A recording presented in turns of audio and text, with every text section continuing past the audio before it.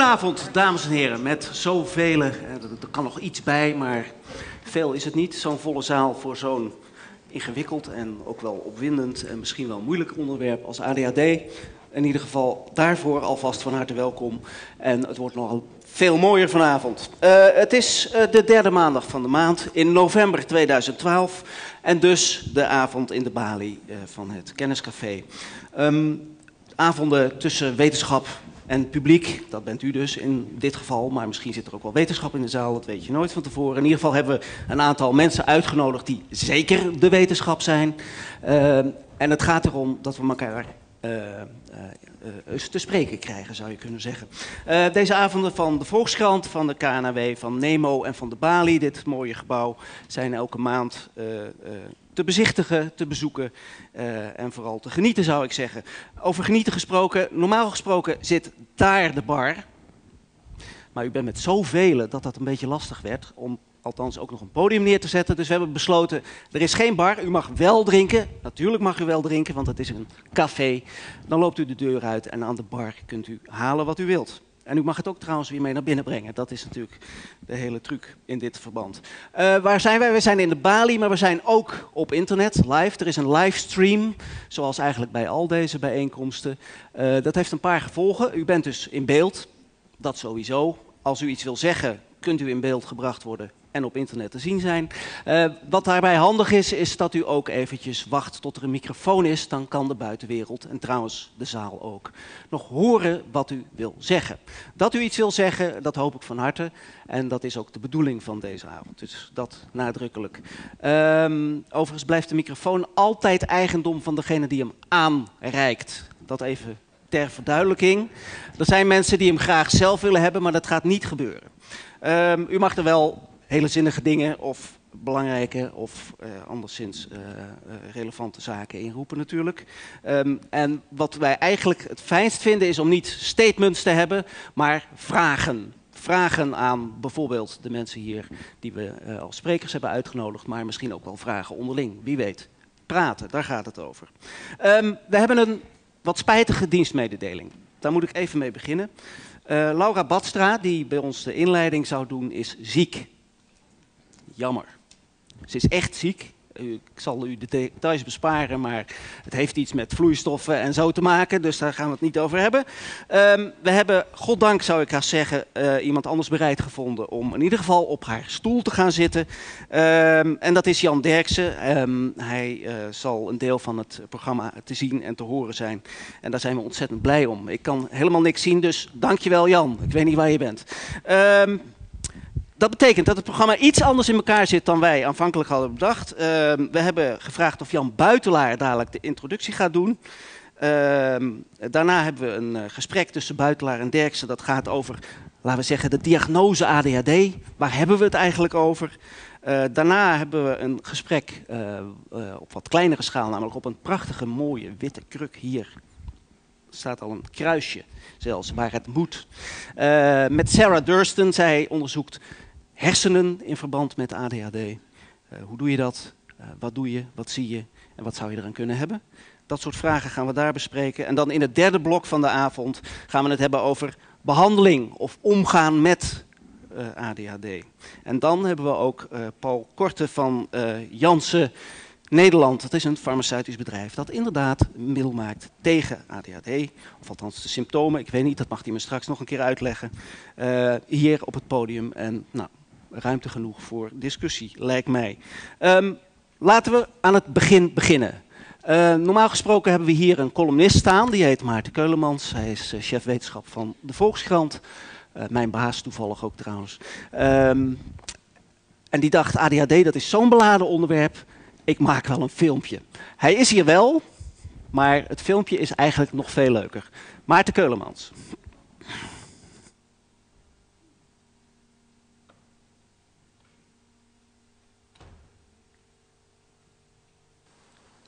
De geheimzinnige ziekte. In het land hier ver vandaan leefde eens een prinsje Arthur. Een heel normaal prinsje, maar dat was alleen op het eerste. De geheimzinnige ziekte. In een land hier ver vandaan leefde eens een prinsje dat Arthur heette. Een heel normaal prinsje, maar dat was alleen op het eerste oog, want Arthur had een raar probleem. Overdag, als hij in de schoolbanken zat, begonnen zijn gedachten te dwalen. Dan droomde hij van de vogels in de bomen en hij droomde ervan om ooit koning te zijn met aan zijn zijde een wonderschone prinses. Arme Arthur. Al snel begonnen zijn schoolcijfers te dalen van al dat gedroom en begonnen zijn leraren te klagen. Arthur let nooit op, die Arthur zit maar wat te dromen. En hoewel de koning de leraren die dat zeiden natuurlijk meteen de kerkers liet gooien, voelde hij zich ook ongemakkelijk, want de koning wist ook niet zo goed wat hij moest doen. Zo kwam het dat de koning zijn secretaris opdroeg om een boodschap te schrijven aan alle geleerden en dokters van het land. Degene die prins Arthur kan genezen, zo beloofde de koning, zal worden overladen met goudstukken en een marmeren standbeeld krijgen van drie verdiepingen hoog. Dus gingen alle knappe koppen van het land aan het werk. Zo hard dachten ze na dat je s'nachts hun hersenen kon horen kraken. En dat de brandweer regelmatig moest uitrukken om hun oververhitte hoofden te blussen. Een jaar verstreek. Tot de dag waarop de koning de geleerden en dokters van het land ontbood in de troonzaal. De eerste die binnenkwam was een oude, wijze arts genaamd George Still. Majesteit, hief hij aan. Ik heb het hele land doorgereisd en ik heb gezien dat er nog veel meer kinderen zijn met deze rare aandoening. Sterker nog, als je erop let, zijn er ook volwassenen die veel te veel dagdromen. Ik denk daarom dat er sprake is van een nieuwe ziekte. De Daydream Disorder heb ik haar genoemd, ofwel DDD. De koning was heel blij om dat te horen. Eindelijk was het tenminste een woord voor wat er mis was met zijn zoon. Een ziekte. Het was een ziekte. Geweldig, dokter, zei de koning. En vertel me eens, waardoor komt die ziekte dan? Uh, nou, aarzelde de arts. Omstandig begon hij te vertellen hoe kinderen met DDD in een hersenscanner een wat andere hersenactiviteit hadden. En dat de ziekte misschien erfelijk was, maar ook te maken had met de omgeving. Al snel viel de koning hem in de rede. U weet het dus gewoon niet, bitste de koning. Verdwijn! De tweede die de troonzaal betrad was een knappe, goed geklede apotheker die Novartis heette. Majesteit, hief hij aan, ik heb alle chemicaliën van de hele wereld geprobeerd en eindelijk heb ik een pil gevonden die het dagdroomsyndroom geneest. Sterker nog, mijn pil werkt zo goed dat er nu al 150.000 mensen in het land zijn die mijn pillen gebruiken. De koning was erg blij om dat te horen. Een medicijn, eindelijk was er tenminste een medicijn tegen de ziekte van zijn zoon. Geweldig, apotheker, zei de koning. En vertel mij eens, zijn die 150.000 patiënten nu genezen? Uh, nou, aarzelde de apotheker. Omstandig begon hij uit te leggen dat de ziekte terugkwam als men stopte met de pil en dat er ook veel bijwerkingen waren. Al snel viel de koning hem in de rede. Uw pil werkt dus gewoon niet, bitste hij. Verdwijn uit mijn ogen. Net wilde de koning zich teleurgesteld terugtrekken toen hij zag dat er nog een derde persoon de troonzaal binnenkwam.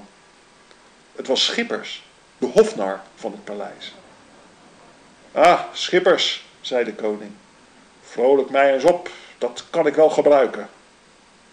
De hofnar trok een gek gezicht en barstte los. Taaie smijt, ik bedoel majesteit, hief ze aan. Wat zit u nou te mokken? Misschien bestaat die ziekte dan wel niet, of misschien bestaat de ziekte wel en zijn er maar een paar patiënten die hem echt hebben. Of misschien is die zogenaamde ziekte niet één ziekte, maar een heleboel andere ziektes. Maar wat maakt het nou uit?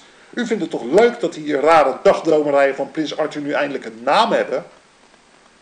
De koning grinnikte instemmend. Zo had hij het nog niet bekeken. En wat maakt het u nou uit dat die pillen bijwerkingen hebben en vaak niet eens werken? De mensen zijn er dolblij mee. Novartis, de apotheker, maakt geweldige winsten. En, en als die pillen te duur worden, dan verhoogt u toch gewoon de zorgpremies? Nu moest de koning hardop lachen. Hij lachte en hij lachte en hij lachte tot de tranen hem over de wangen biggelden en de lakeien kwamen kijken of het allemaal nog wel goed ging daar in de troonzaal. Zo kwam het dat er in het land van de koning veel veranderde. Zowel de slimme dokter als de knappe apotheker kregen een marmeren standbeeld en werden overladen met goudstukken. En rondom de geheimzinnige ziekte ontstond een levendig wereldje van patiënten en websites en zelfs een eigen week van de dagdroomziekte. Er kwamen behandelaars en opleidingen voor die behandelaars. En keurmerken voor de opleidingen van die behandelaars. En stichtingen die de keurmerken voor de opleidingen van de behandelaars controleerden. Er waren tovenaars die de mensen aanpraten dat je DDD met malle diëten kon genezen. En er kwamen geleerden die de ziekte bestudeerden. Al met al gonste het hele land van de bedrijvigheid. En het prinsje Arthur, die nam keurig op tijd zijn pillen, maakte zijn school af, trouwde met een wonderschone prinses en werd de meest wijze koning die het land ooit heeft gekend. Zo leefden ze nog lang en redelijk gelukkig. En als Arthur niet is gestopt met zijn pillen, dan slikt hij ze nog steeds. Maarten Keulemans.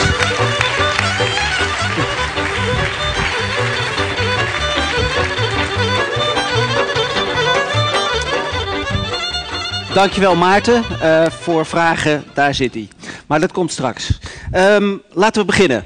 Uh, laten we echt beginnen. Uh, na zo'n prachtige inleiding schreeuwen we natuurlijk om hardere wetenschap dan we hier al gezien hebben. En ik wilde Jan Buitelaar vragen om aan te treden. Aantreden klinkt zo streng.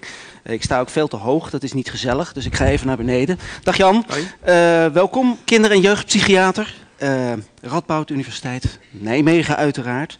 Ook nog het Donders Instituut in Utrecht. Ja. Nee, nee? Nijmegen. In Nijmegen? Nijmegen. Donders, oh ja, dat is een ja. andere instituut. Ja, ja. kan gebeuren. Um, we hebben gevraagd om een inleiding te geven over ADHD.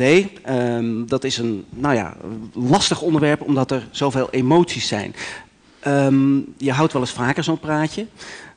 Die emoties, zijn die belangrijk of niet? Enorm belangrijk. Ja? Ja.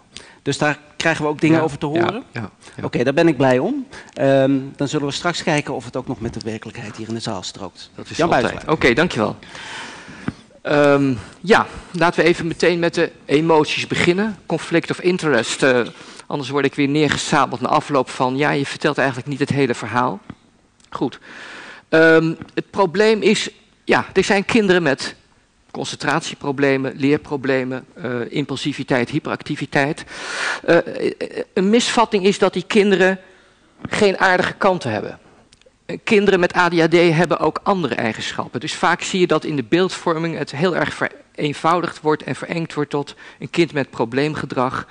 Alle behandelaren, alle dokters, psychologen enzovoort, die zullen erkennen dat je ook moet kijken wat er voor aardigs is, creatiefs, leuke kanten, en die zijn er volop. We weten dat ADHD gekenmerkt wordt door twee groepen symptomen. Concentratieproblemen, druk en hyperactief gedrag. Daar ga ik heel, heel niet veel verder op in. Maar het belangrijkste is dat die eh, problemen eh, langdurig moeten voorkomen. Vaak beginnen ze vroeg, soms voor het vierde en vijfde jaar, vaak voor het twaalfde jaar. In een enkel geval wordt het wel duidelijker tussen het twaalfde en het achttiende en komen eigenlijk meer problemen naar voren als men volwassen is. Dan kan je eh, te maken hebben met volwassen ADHD.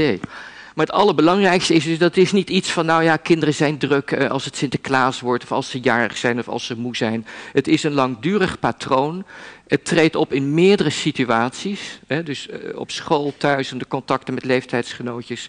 En het is dus als het ware veel meer een kenmerk van het kind dan van de omgeving. Een kind wat alleen dit soort gedragingen vertoont op school, dat doet inderdaad natuurlijk denken van zou er niet zijn, iets zijn, mis zijn in de klas met de leerkracht, een te moeilijke plaatsing op school. Iets wat zich alleen maar thuis afspeelt, doet natuurlijk denken aan zijn er geen gezinsproblemen. Dus dat zijn allerlei belangrijke dingen om naar te kijken. Het is niet een nieuw ziektebeeld. Uh, meneer Stil staat hier nog niet op, maar die zou in elk geval rond 1900 geplaatst moeten worden. Het heeft verschillende namen gekregen. Ehm, in 2013 krijgen we een nieuwe definitie volgend jaar in mei, die niet essentieel zal verschillen. Uh, maar uh, ondanks al die verschillende namen is het natuurlijk niet iets wat een uitvinding is van de laatste twintig jaar. Laat dat gewoon heel erg duidelijk zijn. Uh, er is wel een verschuiving opgetreden. met name die verschuiving zo rond 1980, die geeft aan in de naam dat die attention deficit, dat die concentratieproblemen, toch eigenlijk wel als de kern gezien worden, meer dan het drukke en impulsieve gedrag. Ik uh, was mij gevraagd te vertellen hoe vaak komt het nou voor. Nou, laten we zeggen 5% all over the world. Dit is een samenvatting van onderzoek links dat zijn allerlei Amerikaanse studies, rechts zijn studies elders in de wereld. Je ziet enorme verschillen. Um, ik zie dat de, de, balk waar de prevalenties moeten zijn weggevallen is, maar daar gaat het ook eigenlijk niet om. Het belangrijkste is om te laten zien dat het verschillend is. Uh, uh, Oekraïne en India, ja, uh, in landen met lage SIS. En als je dan met vragenlijsten meet, krijg je hogere getallen. maar als je het middelt, kom je op zo'n 5 procent. Uh, en er zit Nederland ongeveer uh, in, in de mediaan, in het gemiddelde. Uh, en de belangrijkste boodschap is: het is dus echt niet alleen een Amerikaanse stoornis of een Amerikaans probleem wat wij geïmporteerd hebben. Je komt het voortdurend tegen. En die 5% is denk ik een hele mooie, een heel mooi getal. Ik wil eigenlijk twee stellingen zelf poneren. En met name deze eerste stelling, omdat wat mij opvalt, ik kom eigenlijk bij de emoties terecht. Wat mij opvalt is dat de hele discussie over ADHD, over diagnostiek, over behandeling, vaak volkomen voorbij gaat en het feit dat we praten over een in principe heel lastig, heel pijnlijk probleem. Of een stoornis. Een probleem wat voor veel narigheid zorgt. Bij de persoon zelf, bij de familie, de ouders, de broers en zussen, uh, bij de leerkrachten en bij de maatschappij. Dat wordt, vind ik, vaak veel te weinig uh, erkend. Het gaat alleen maar over allerlei randverschijnselen, zullen we het over hebben. Maar het is heel erg belangrijk dat dat probleem goed gediagnosticeerd wordt. En natuurlijk niet overmatig. En dat het goed behandeld wordt. En daar kunnen we over praten wat een goede behandeling is. Maar ik vind het jammer dat dit vaak vergeten wordt. En dat was ook het belangrijkste punt voor het stukje in medisch contact. Waarvan dan gezegd wordt van ja, buiteraar vindt dat er sprake is van onderdiagnostiek.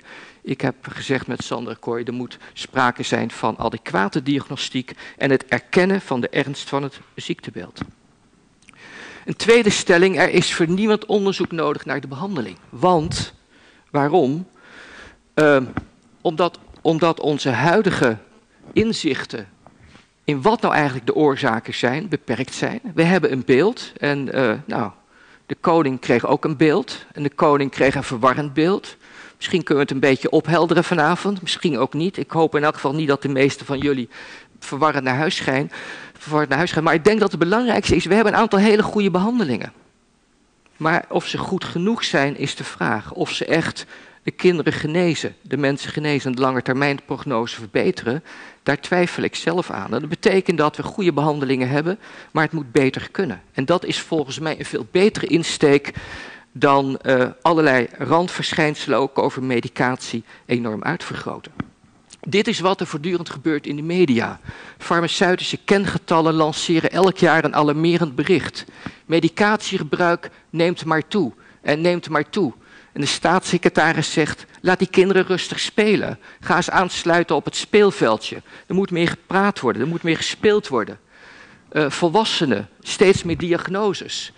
Uh, en het lastige is dat dat toch eigenlijk heel erg als het ware op de man gespeeld wordt. De betrokken hulpverleners, dokters en psychologen worden heel erg in de hoek gedrukt van spelen onder één hoedje met de industrie, zijn eigenlijk niet helemaal integer, ze laten zich allerlei reclamepraatjes aanleunen en de industrie die heeft een soort uh, geheime campagne opgezet om uh, steeds meer medicatie te slijten. Hoe zit het eigenlijk met die toename van het medicatiegebruik? Dit is een plaatje opnieuw van de Stichting Farmaceutische Kengetallen kun je zo vinden op internet. Dat geeft dus eigenlijk weer dat um, dit zijn dus niet de absolute aantallen, maar dit is de stijging. En dan zie je dus in feite dat de toename in het aantal recepten, dus het, het, de, de, getallen van de Stichting Farmaceutische Kengetallen, kan je niet herleiden tot personen. Het gaat om recepten, dus dat is verwarrend. Maar dat die toename in feite vooral uh, terug te vinden is um, uh, bij um, de jongeren. Dus dat zijn de, de middelste groepen. Daar zie je die groene balkjes tussen 2005 en 2008 stijgen. En vooral bij de volwassenen. Dus er is uh, meer medicatie of meer recepten geleverd aan met name jongeren boven de 12 jaar en bij volwassenen. En uh, ik denk dat uh, dat te maken heeft met meer herkenning van de problemen onder die leeftijdsgroep en ook langere behandeling. Dus dat is niet per se of niet duidelijk onder de jongere kinderen tussen de 6 en de 12. Uh, er wordt een beeld geschetst, ook in de media, dat dit een exclusief probleem zou zijn van ADHD en eigenlijk de GGZ, de kinderpsychiatrie. We hebben allemaal kunnen lezen een week geleden in de Volkskrant dat dit probleem veel breder is. Er worden veel meer medicijnen voorgeschreven aan kinderen de laatste twintig jaar. De grootste stijgingen zitten niet bij ADHD. De grootste stijgingen zitten bij middelen tegen allergie, tegen astma, uh, laxeermiddelen. Het past dus in feite dit probleem in een veel bredere trend dat wij kennelijk veel meer middelen geven aan onze kinderen het gaat eigenlijk eh, eh, om een trend die veel breder is dan het hele ADHD-probleem. Het tweede punt op deze dia zegt, zijn wij in Nederland nu zo enorm, nou, ik zou bijna zeggen, kikkend op medicatie? Als je dit in Europees verband ziet, nee. Wij zitten, als je kijkt naar de uitgaven van onze kosten voor gezondheidszorg en medicatie, zitten wij onder het Europees gemiddelde. We zijn eigenlijk helemaal niet zo dat we uit de trend lopen. Ook dat beeld wordt vaak verkeerd neergezet. Natuurlijk is het zo dat als grote groepen kinderen ten onrechte de diagnose zouden krijgen en daarmee een behandeling die niet passend is, is dat een probleem. En als de minister dat wil onderzoeken, dan zeg ik, laten we dat morgen doen. En daar hebben we ook subsidieaanvragen voor ingediend. Uh, maar dan moet het ook wel onderzocht worden. Want dit is dus ook iets wat voortdurend boven de markt hangt. Het hele probleem van overdiagnostiek en overbehandeling wordt voortdurend als een suggestie, uh, ja, we zeggen, uh, de, de wereld ingestuurd, zonder feiten. Niemand weet hoe erg of hoe weinig erg het in de praktijk is. En het wordt tijd dat we het gewoon gaan onderzoeken. Een paar punten over uh, andere behandelingen. Uh, mevrouw Badstra is er vandaag niet, maar het is wel natuurlijk ongeveer bekend wat zij zegt. Zij zegt eigenlijk van geen medicatie, ga gewoon goed werken met die kinderen, ga die ouders helpen, ga werken met gedragstherapie. Het is allemaal veel en veel beter. Ik wil daarbij twee punten maken. In de eerste plaats is gedragstherapie heel weinig kosteneffectief als je het vergelijkt met medicatie. Dit zijn resultaten van een Amerikaans onderzoek een heel groot onderzoek onder 600 kinderen. Je ziet in feite in deze grafiek dat de kosten van gedragstherapie heel snel oplopen met weinig toegevoegde waarde. En je ziet eigenlijk dat de kosten van medicatie, dat is dit, dit stukje van de grafiek, dat de kosten weinig oplopen en dat je dus heel snel toegevoegde waarde hebt. Of dat voor de toegevoegde, dat je dus weinig extra kosten hebt en veel toegevoegde waarde. Dus het is veel, veel kosteneffectiever om medicatie te geven. Daarmee wil ik niet zeggen dat als je geen gedragstherapie, dat je dat niet moet doen. Maar we moeten dit wel in feite bekijken in het totaal van wat we aan het doen zijn in de gezondheidszorg, de stijgende kosten en de middelen en mogelijkheden die we hebben. Het heeft geen enkele zin behandelingen te adviseren die we niet kunnen betalen. Het tweede punt over de gedragstherapie is dit. Met een aantal collega's hebben we een zeer uitvoerend eh, meta-analytisch overzicht gedaan van alle behandelingen bij ADHD, behalve medicatie. We zijn begonnen met bijna 3000 artikelen en we hebben volgens een aantal logische stappen, en dit wordt gepubliceerd eind januari volgend jaar, gekeken wat nou de effecten zijn van gedragstherapie. Dit zijn de effecten van gedragstherapie. Dit zijn de studies die we bekeken hebben. En u ziet onderaan dat uh, als je. Uh, oh, Oké, hij slaat nu al op hol. Dat is toch een beetje. Uh, u, ziet, u moet naar het onderste balkje kijken en u ziet dat er een klein effect is van gedragstherapie. Als je echt rekening houdt met het feit dat die gedragstherapiebehandelingen allemaal beoordeeld zijn door ouders die zelf wisten dat hun kind die behandeling kreeg, logisch, maar dus zogenaamde niet-blinde beoordelaars. En je houdt daar rekening mee, dan blijft er eigenlijk van het significante effect van gedragstherapie niets over. Met andere woorden, er moet echt meer en beter onderzoek naar gedragstherapie gedaan worden, waarin je ook rekening houdt, waarin je die, effecten laat beoordelen door mensen die niet onderdeel zijn geweest van de behandeling en die een onafhankelijk oordeel vergen. En dit roept dus gewoon twijfels op aan de effectiviteit. Is er dan geen enkele kritiek mogelijk op ADHD? Jazeker, dit is bijvoorbeeld een voorbeeld van een Amerikaans boek, wat ik iedereen kan aanbevelen, waar hele goede kritische dingen staan over de huidige researchcultuur in ADHD. Is er geen goede journalistiek mogelijk? Ja, natuurlijk. Dit is een heel interessant voorbeeld van een Amerikaanse mevrouw. Die werd door de New York Times gecharterd om zich te infiltreren in de Amerikaanse oudervereniging en om een kritisch boek te schrijven over ADHD. Ze kreeg letterlijk als opdracht deconstructing. Maar na één jaar heeft ze dit boek geschreven. En wat zij zegt is van, ik ging erin met een hele negatieve bias. Maar ik kan niet anders doen dan constateren dat ik onder de indruk ben van het lijden van de ouders en de kinderen. En van de oprechtheid en de integriteit waarmee men uh, met de hulpverlening omgaat.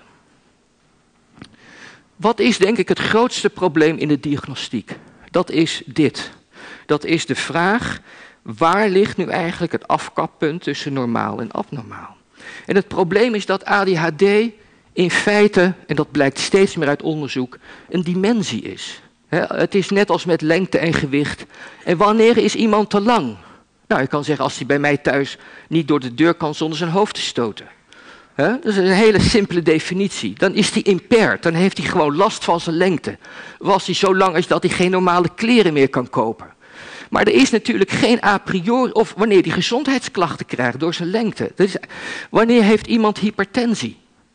Dat, dat, is eigenlijk ook zo'n functioneel syndroom, net als ADHD. En dan zeg je van ja, op een gegeven moment heeft iemand zo'n hoge bloeddruk. Hij krijgt hoofdpijn, hij krijgt hartklachten, zijn vaatwanden die worden uh, minder elastisch. Hij gaat dus eigenlijk gezondheidsschade opleveren.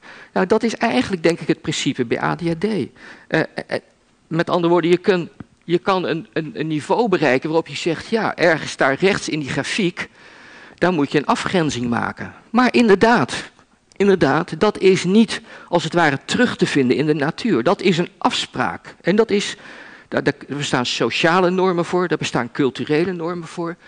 Je kan statistische normen pakken.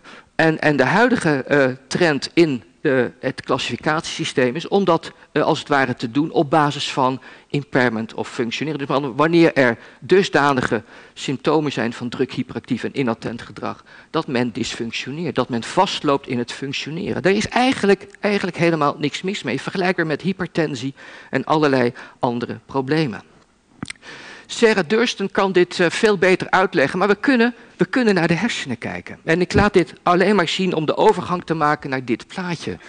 Want ADHD en ook opnieuw, uh, in debat met Badstra die, die thuis is, maar ADHD is natuurlijk meer dan een gedragsdiagnose. Er staan, bestaan heel veel gegevens die, die, die, aan, die uh, dit aantonen. Dat met andere woorden, als je kijkt naar kinderen die niet druk zijn, en een klein beetje druk en meer drukker en superdruk, dan zie je dat ze steeds meer biologische afwijkingen gaan vertonen. Bijvoorbeeld verschillen in dikte van de hersenschors, verschillen in volume van de hersenen, afwijkingen op allerlei cognitieve testen. Met andere woorden, het is wel degelijk een syndroom met een biologische onderbouwing.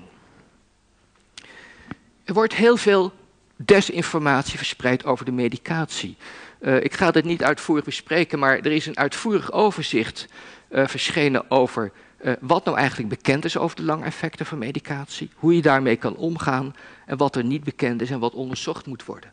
En we hebben ook een overzicht geschreven over uh, wat is nou bekend over de lange termijn werkzaamheden. Kunnen we wellicht bij de discussie verder op ingaan. Maar in grote lijnen is het zo dat de, de veiligheid van uh, medicatie bij ADHD zeer, zeer goed is aangetoond. Natuurlijk kunnen de bijwerkingen optreden. Uh, maar eigenlijk is geen enkele reden voor paniek of uh, grote alarmbellen als het gaat om gevaarlijke of zeer lastige bijwerkingen. En datzelfde geldt voor de langetermijnbehandeling. Wat we weten is dat de langetermijnbehandeling in zeer veel gevallen uh, tot, tot, tot nou, vijf, acht uh, en meer jaren succesvol wordt voortgezet. En dat er ook aan de andere kant een grote groep is die na één of twee jaar stopt, misschien weinig baat heeft of voldoende heeft gehad aan één of twee jaar behandeling. Het is een complex probleem. We moeten gaan voor goede diagnostiek en behandeling, maar we moeten er vooral voor gaan om gewoon het ziektebeeld in zijn totaliteit ernstig en serieus te nemen. Want het is, het is niet alleen maar iets van druk gedrag. Kinderen met ADHD leven gemiddeld uh, korter dan andere kinderen. Het sterfterisico is hoger. Ze hebben allerlei uh, risico's op andere problemen. Verslaving, middelenmisbruik, criminaliteit enzovoort. Dus alle reden om het serieus te nemen. Dank u wel. Dankjewel.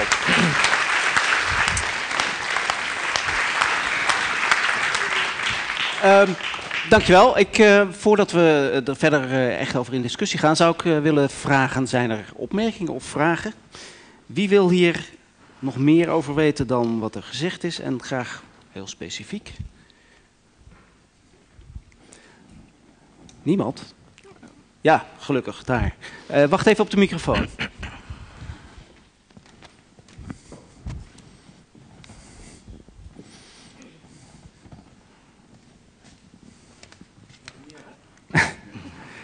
Ja, het, het, anders horen we echt niks. Dus. Oké. Okay. Dag meneer Buitenlaar. Uh, ik had, u liet een stukje zien, een schema met een groene balk en een bruine balk. Waarin u de stijging liet zien hè, van recepten. Mm -hmm. En u concludeerde eruit dat de jongeren boven de 12 en de wat oudere mensen groeiden. Ik las daar iets heel anders. Kunt u dat nog een keer bekijken? Nou, hij staat bij mij voor, maar de, misschien moet de regie even overschakelen op de beamer, op mijn laptop. Ja. Dus als ik naar de groei kijk van recepten, dan zie ik bij 2130 en 4150 de groei van tussen 2005 en 2008. Klopt dat? Ja, maar het gaat dus toch vooral om, om oudere leeftijden. Dat is wat ik zei. Nee, u zei uh, dat de 11 jaar tot 20 jaar een grote nou, stijging het begint, het begint, het begint in feite, die laatste toename begint eigenlijk bij 11 tot 18. Kijk, dan zie je dat dat uh, bovenste balkje het meer stijgt dan bij de kinderen. Ja, en dan stijgt die. In, in, feite is de stijging het minst tussen 1 en 10 jaar, de laatste jaren. Ja. ja? Dus die bruine balk. Ja. ja. Misschien zijn we het dan eens. Ah, even kijken. Nou, ik zie toch de grootste stijging ook in de bruine balk bij de categorie 21 tot 30, 41 tot 50. Ja, ja, maar dat is toch allemaal op, boven, de, uh, boven de 21 maar, jaar? Voor, voordat wij alle Neem dat u, de, u noemde de, de, de, de, kinderen van 11 tot 20, de jonge mensen had u het over. Dus ik dacht, ik heb het verkeerd begrepen of ik, u had het verkeerd gezien. Dat uh, mag uh, de stream straks uitwijzen. Nou, ik dacht, ik vereenvoudig het een beetje. Maar, maar was, niet, was niet de intentie van die opmerking vooral om te zeggen, het ja. gaat niet om de jonge exact, kinderen? Exact, ja. Oké. Okay. Ja. Um, misschien is die markt verzadigd, dacht ik toen stiekem. Mm, dat gaan we aan meneer Korte vragen. nee, maar denk je daar zelf ook iets over? Ik denk het niet. Ik denk het niet. Ik denk dat. Um, het, het, kijk, het is zo dat wij in Nederland in onze uh, attitude naar ADHD uh, wel erg op Amerika lijken. Maar we vinden het tegelijkertijd dat die Amerikanen overdrijven. En, en ik denk wel dat wij uh, een redelijke attitude hebben om medicatie voor te geven. Maar zeker niet. Ik denk dat de uptake, het aantal kinderen met een diagnose wat behandeld wordt. Uh, ik heb dat eens uitgerekend dat dat hooguit 40, 50 procent is. Oké. En dat lijkt me een, een, een goede marge eigenlijk. Ja, akkoord. Meer opmerkingen? Ja, daar. Uh, meneer Buitenaar, um, wat ik een beetje in uw betoog mis, uh, met alle waardering overigens, dat is het onderscheid met ADD. Um, het is bekend dat ADD eigenlijk een aparte categorie is. Uh, misschien en, weet niet iedereen wat dat is. Kunt u het even uitleggen? Nou, dat is dus ADHD zonder hyperactiviteit. Ja. En heeft duidelijk andere kenmerken. Mm -hmm. um, is die categorie inbegrepen in uh, ADHD? Uh, geldt dat ook voor alle wetenschappelijke gegevens die u daar weergeeft? Hoe, hoe kijkt u daar tegenaan? Kunt u daar iets van zeggen? Ja, dat, nou, ik, ik, dat is eigenlijk inbegrepen in de totale categorie. En ik moet zeggen dat ik zelf eigenlijk niet zo'n uh, voorstander van ben om te zeggen dat ADD, dus die kinderen met alleen concentratieproblemen, dat is zo'n aparte groep. A, het is een heel slecht gedefinieerd beeld.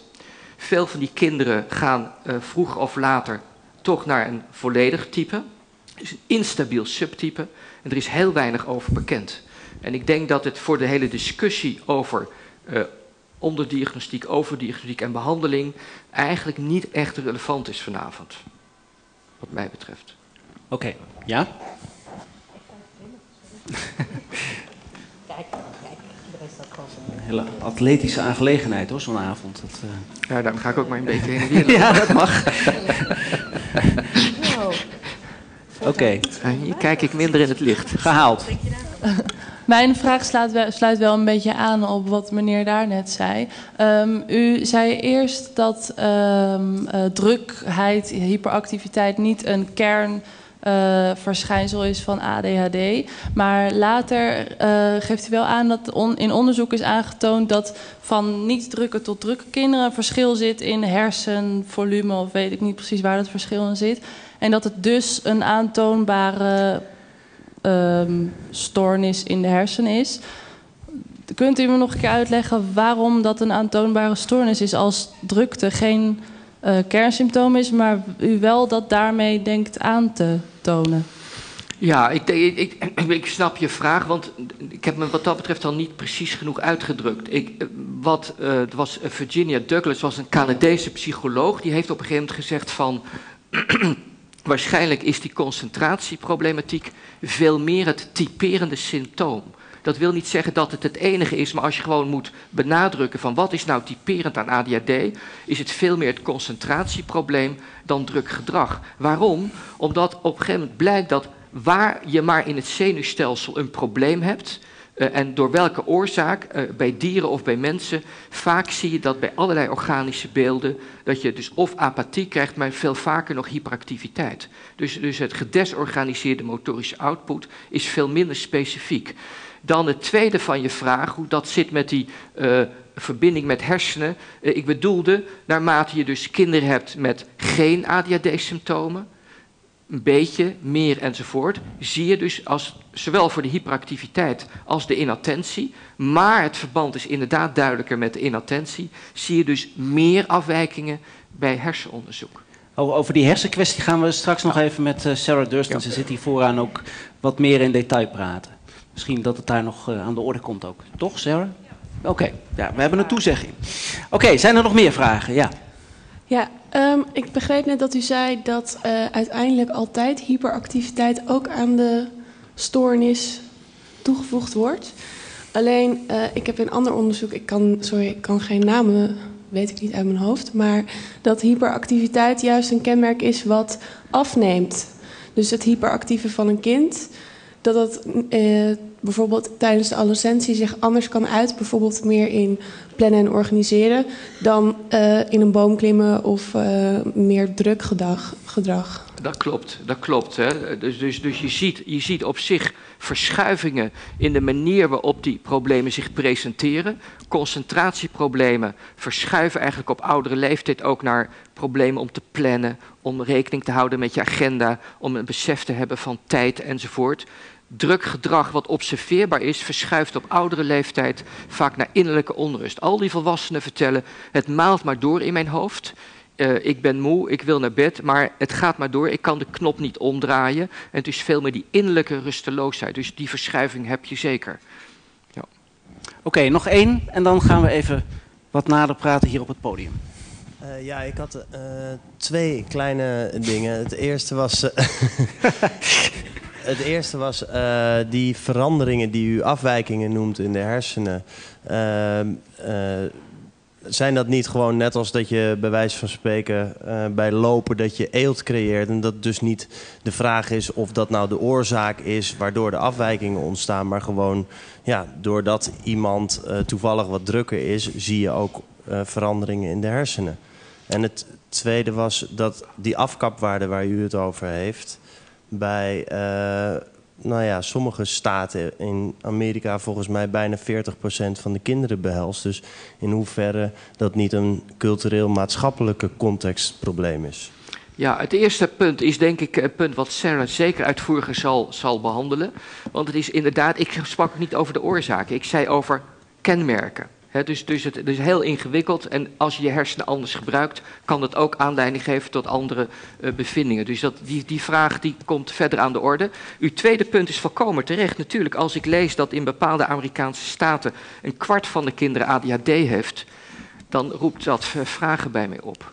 En, en, dat bedoel ik ook met, we moeten uiteraard gaan voor adequate diagnostiek. En als blijkt dat, dat, uh, uh, ja, dat men de afkapwaarde totaal verschillend heeft, of dat ouders of leerkrachten uh, veel te liberaal daarmee omgaan, of kinderartsen, dan is dat een groot probleem. Helemaal mee eens. Oké, okay, helder. Goed, dank zover. Um, zoek een stoel. Er zijn er drie.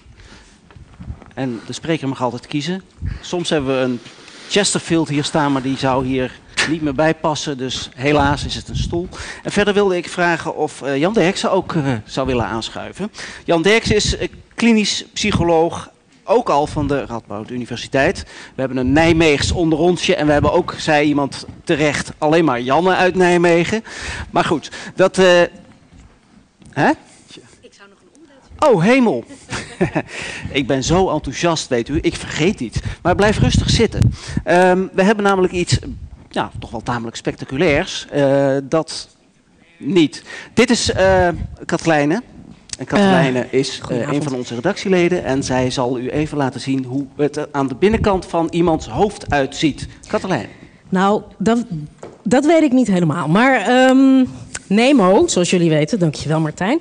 Die doet elke maand een, een klein proefje. En ik heb een vrijwilliger nodig. Die durft.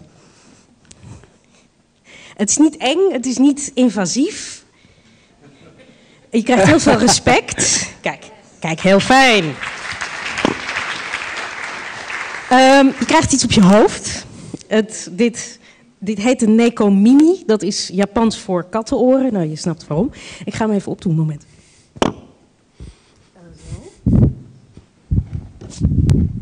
Ah, dankjewel Martijn.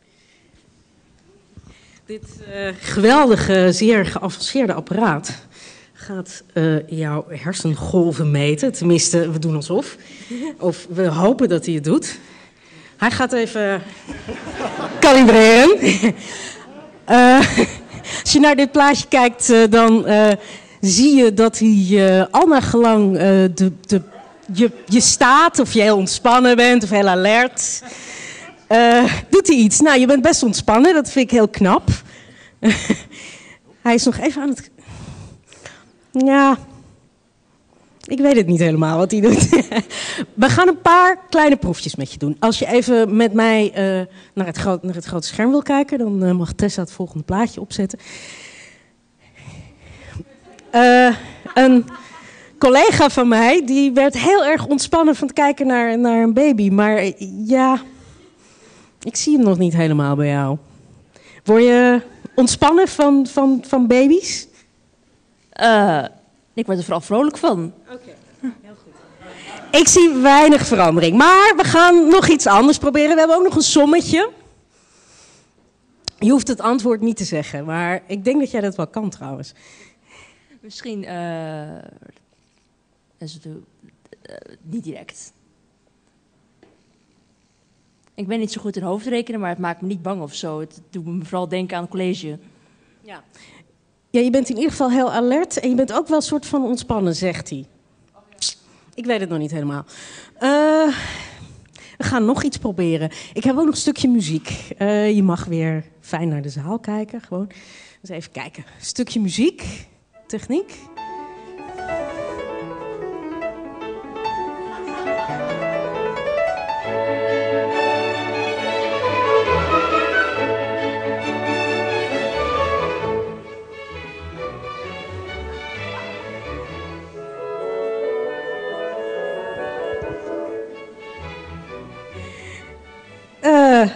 Ja, die is echt geweldig.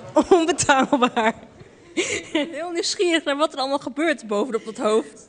Um, ik had een spiegel voor je moeten regelen. Uh, ze draaien een beetje. en dat voel je denk ik ook wel aan de, aan de motortjes.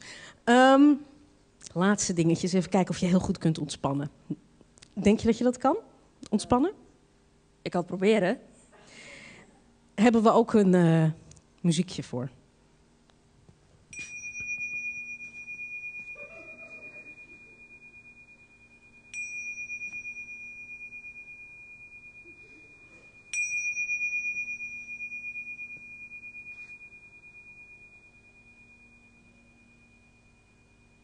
Neem je meditatiehouding aan.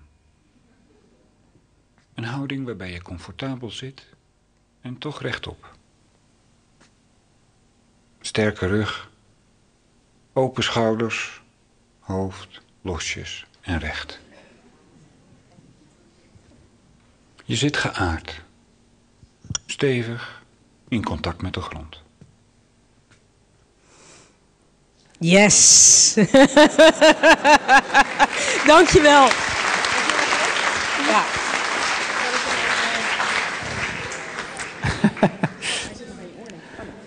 Eh, ja, wat moeten we hier nou mee? En, en dat weet ik zelf niet zo goed, maar, maar gelukkig heb ik hier Sarah die, die, die er wel iets van weet. Wat, eh, zagen we iets? Iets zinnigs? Nou ja, we zagen iets zinnigs. We zagen oren draaien. Of uh, wat we hier precies mee, mee moeten, dat weet ik ook niet zo goed, eerlijk gezegd. Um, ja, het idee is natuurlijk dat dit een, een neurofeedback uh, device is. Dat je wat. Kom even staan. Kom even staan. Zo beter. Ja. Uh, dat, je, dat je informatie zou kunnen geven over wat er gebeurt in de hersenen. Of, of deze dat ook echt doet, daar uh, durf ik niks over te zeggen. Um, feit is wel dat je wel op basis van bijvoorbeeld EEG-apparatuur, uh, dus met elektroden, hersengolven kan meten. Mm. En dat mensen inderdaad kunnen leren door middel van dat soort apparaten. Om, om bepaalde uh, toestand van de hersenen te, te, op te creëren, zal ik maar zeggen. Dus om zich enorm te gaan concentreren of juist om zich te ontspannen. En dat soort dingen worden ook wel gebruikt als behandeling voor ADHD. Maar of dat ook echt werkt in de behandeling voor ADHD om de symptomen minder te laten worden. Daar zijn de opinies nog over verdeeld en de, de conclusieve onderzoeken die zijn er nog niet. Meer, meer onderzoek, Meer dus, onderzoek. Misschien niet met deze. Ja, ik vind die wel heel leuk. ja. Oké, okay. dankjewel. Oké, okay. Ka Katelijne Berghouwer. Daar gaat de stoel, eventjes maar, want die komt straks weer terug. Um, ik was dus in de introductie uh, van de twee Jannen, zou je kunnen zeggen. Jan Buitelaar en uh, Jan Derksen. Uh, een psychiater en een psycholoog. Um, om te beginnen... Uh, denk je dan anders over gedrag? Dat is eigenlijk een wat algemenere vraag over jullie specifieke uh, vakgebied. Uh, Jan Derksen, ADHD, is dat een ziekte? Um, nou, die terminologie is tamelijk verwarrend. Uh, ik vind een ziekte iets, dat vind ik een klinisch begrip. Als iemand hoge koorts heeft en een, een enorme ontsteking heeft... of iemand erg transpireert door een enorme paniekaanval dan, dan spreek je op dat moment, is het begrip ziekte wel uh, aardig op zijn plaats voor de klinicus. Ik vind het geen wetenschappelijke term. Mm -hmm. Dus als je spreekt over stoornis, moet je eerst vaststellen uh, wat normaal is. Ja. En we hebben in de klinische psychologie, en goed, de psychiatrie kun je dat minder kwalijk nemen, want die zijn meer op stoornissen gericht, maar in de klinische psychologie en ook de algemene psychologie hebben we de laatste eeuw nagelaten om goed te definiëren wat normaliteit is. Daar hebben de fenomenologen uit het verleden absoluut gelijk. Hè, want die zeiden van wij moeten eerst beginnen met de normaliteit. En ook veel van mijn collega's, klinisch psychologen, die net zoals ik ook veel zeg maar, patiëntenwerk doen. Dus die zijn ook in hun rapportages altijd opvallend gefocust op stoornissen. Hetgeen ik eh, zeg maar, toenemend problematisch vind. Ja. Want wij moeten eigenlijk ook de gezonde kant en de normale kant op begrip brengen. En je kunt pas van stoornis spreken als je weet wanneer het normaal is. Oké. Okay. Vanuit dat perspectief gekeken naar het verhaal van Jan Buitelaar, die, die schetst er is een probleem. Dat verhaal, woord is veel voorgekomen in, uh, in de voordracht die we zojuist uh, hoorden. Um, hoe, hoe verhoudt zich dat tot het idee normaliteit is ook niet echt helder? Uh, mag ik er eerst nog iets anders over zeggen? Graag. Kijk, wat we nu net ook zagen, hè? Wij leven in het breintijdperk. Hè? Dus nu ging het ook onmiddellijk over de hersenen met deze kleine oefening. Ja. Uh, Jan uh, die heeft gesproken over ADHD en dat doet hij heel degelijk. Maar wat erin opvalt, er ontbreekt iets. Oh hemel. Er ontbreekt iets.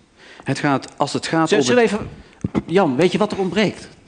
Eh, Ik kan wel Jans gedachtegang eh, een beetje voorspellen. Het wordt wel heel schizofreen nu natuurlijk. Hij gaat vermoedelijk iets vertellen over de omgeving en de ouders en hechting en psychologische Oké, stop. constructen. Klopt dat?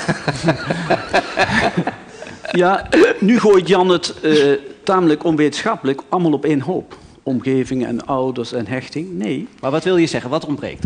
Wat er ontbreekt, hè, een derde van onze kinderen zijn door de eeuwen heen al temperamentsvol geweest. Hè. En in de vroegkinderlijke ontwikkeling leren ouders nog steeds heel slecht om om te gaan met temperamentsvolle kinderen. Ouders krijgen op het zuigelingenbureau wel van alles te horen over voeding en, eh, hoe, en, en de baby krijgt allerlei prikken om virussen tegen te gaan, allemaal prima. Maar wat er niet gebeurt in onze samenleving, terwijl die kennis er wel is, ze krijgen geen informatie over de leerprincipes. In de psychologie hebben we zeg maar, al lang geleden goud ontdekt, namelijk de leerprincipes die, waarmee we ge- conditioneringsgedrag zeg maar, zijn gaan begrijpen. Wat er ontbreekt in onze opvoeding, ook met name in de vroegkinderlijke opvoeding, dus hebben we nog niet eens over de hechting, maar zijn dat ouders leren inzien hoe gedrag geconditioneerd wordt en hoe, dat, zeg maar, hoe je dat dus ook kunt beïnvloeden door kennis van die leerprincipes. Kort samengevat, we begrijpen onze kinderen niet? Als je dat zou doen, hè, als je daar adequaat mee zou werken, Ja. zou je in mijn ogen veel minder ADHD-achtig gestoord gedrag krijgen. Dus nu wordt er behandeld en dan wordt er in het onderzoek, ook door Sarah, het accent gelegd op de hersenen als determinant en de psychische patronen en processen als determinant ontbreken in die verhalen. Sarah is ook psycholoog van huis uit, maar in haar onderzoek is ze bioloog. Jan is psychiater. Ik snap dat die heel graag de medische kant ervan pakken. Veel te veel psychologen zijn verdwaald, zijn de weg kwijt en zoeken, zeg maar, passend in deze tijd, het goud voor dit soort eh, beelden in de hersenen. Terwijl dat niet kan. Dat is een denkfout. Omdat je nooit alleen maar oorzaken in de hersenen vindt. Je hebt bij ADHD, maar dat geldt ook voor depressies en verslavingen, voor ernstige beelden, is er een samenspel van biologische, psychische en sociale factoren. Als je zeg maar zeven hoog in een flat woont en de kinderen gaan niet, eh, komen veel te weinig buiten, dan liggen er sociale determinanten voor druk gedrag. Er liggen dus die psychische factoren in micropsychologische processen, ook in de hechting, maar ook in het omgaan van de ouders met temperamentsvolle kinderen. En daar, merkwaardig genoeg in deze tijd, ligt daar het accent niet op in het onderzoek. En Ja. daar ligt het accent ook in de behandeling niet op. Dus wij zijn blind aan het worden Jan, heel- voor de dat is heel- psychologische dat- bijdrage. Dat is echt niet waar wat je zegt. Kijk, het, het behandelbeleid volgens alle richtlijnen beneden zes jaar is beginnen met eh, ouders te ondersteunen, ouders cursussen aan te bieden, gedragstherapeutische oudertraining en allerlei vormen meer. En, en eh, dat is wereldwijd en zeker ook in Nederland de, de, de, de, de, de vorm om daarmee te werken. Dus je gaat juist altijd beginnen ouders te wijzen op eh, wat is een slimme, wat is een handige opvoeding. Je gaat ouders bijspijkeren, daar begint het mee. Maar En- zegt Derksen dan niet misschien dat het daarvoor al misgegaan is? Eh, het, het, het probleem is dat dat eh, eh, maar in een deel van de gevallen succesvol is. Mhm.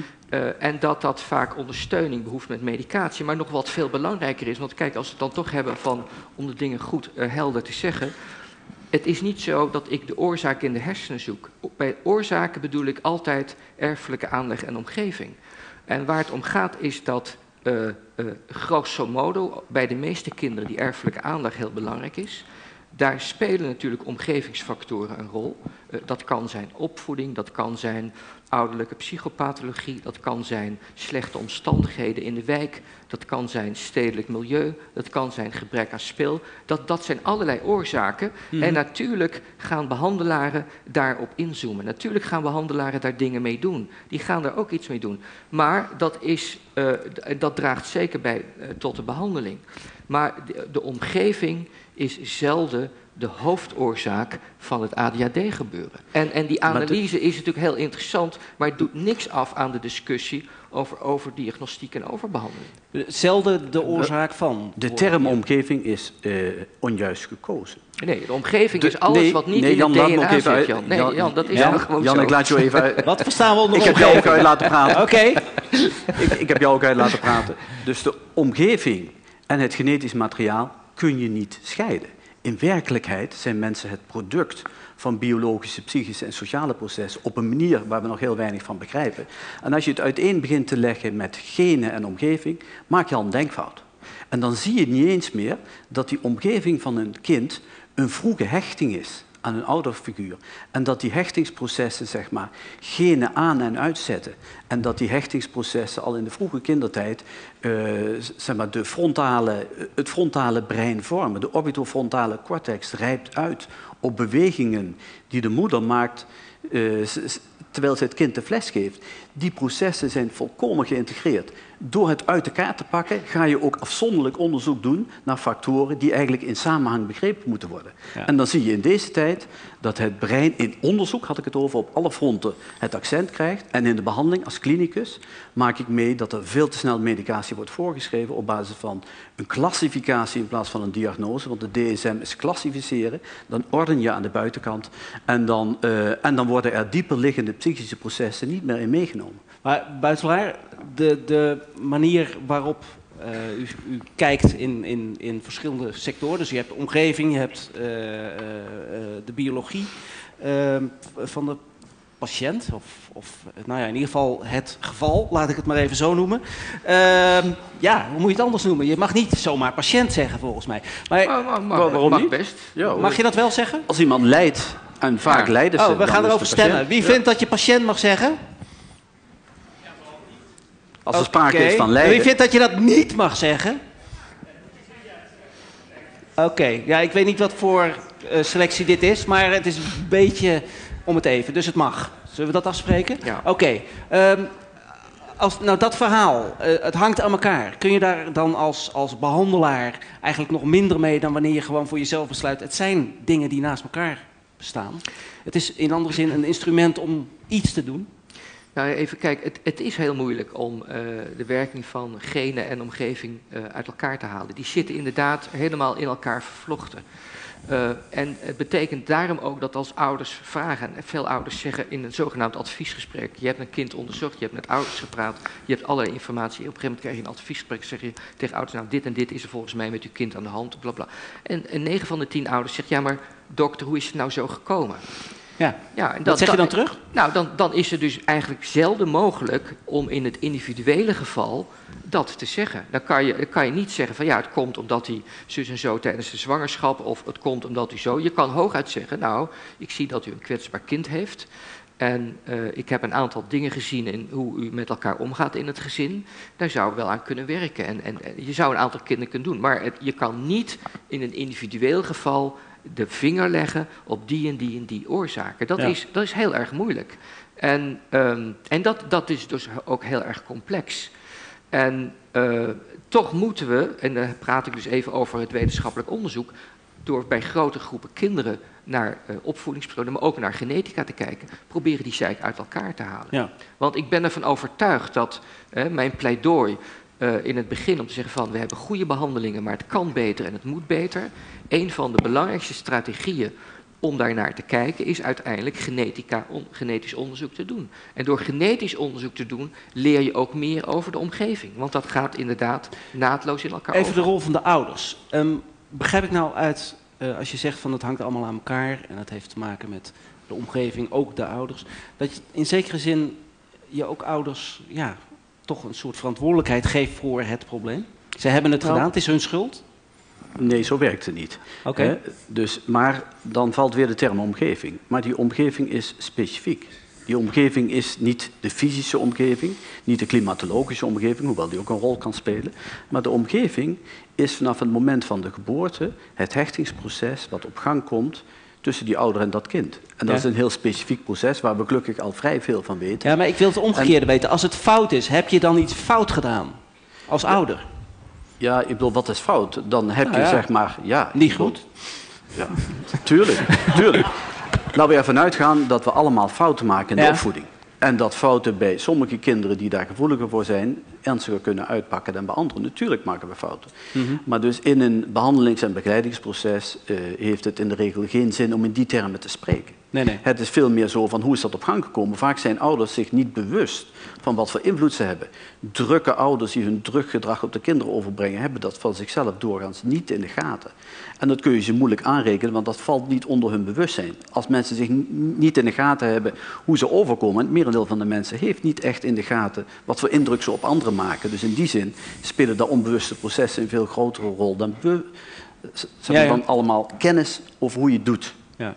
Is dat ook de ervaring in de psychiatrische praktijk? Eh, ten dele. Ik, ik, zie regelmatig ouders die, die hele moeilijke, drukke kinderen of, of andere kinderen met problemen, waarvan ik denk, nou, die opvoeding zou ik op geen enkele manier hebben kunnen verbeteren. Die, die hebben gewoon alles gedaan wat normaliter in hun vermogen lag en wat gemiddeld of bovengemiddeld is. Steun, structuur, tijdig hulp zoeken, kan je niet verbeteren. En toch hebben ze een probleem. Natuurlijk zie ik ook ouders waarvan ik denk, ja, ja kijk, als een ouder zelf uh, nooit eens vijf minuten in de krant leest of gewoon geconcentreerd met iets bezig is, hoe kan je nou van je kind verwachten, als voorbeeld, dat hij een half uur aan zijn huiswerk gaat zitten? Ja. Natuurlijk, dat gebeurt. Maar dan zeg ik tegelijkertijd, het merendeel van die ouders, die heeft vaak zelf ADHD of een ander probleem.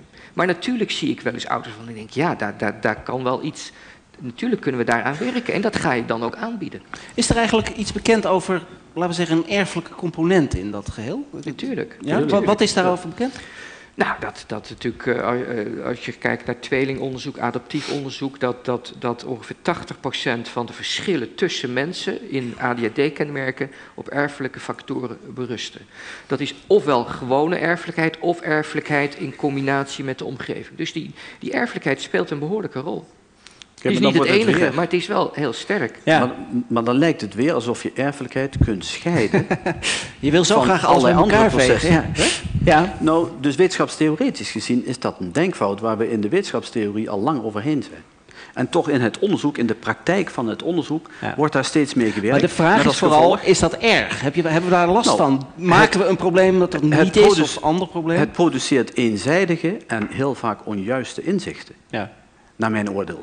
Als je exact goed de mechanismes van dat gedrag wilt begrijpen, ontkom je er niet aan om ook die vroegkindelijke psychologische processen, dus psychologische processen tussen ouders en kind, om die op begrip te brengen. Ja. En daar dus een theorie over te maken.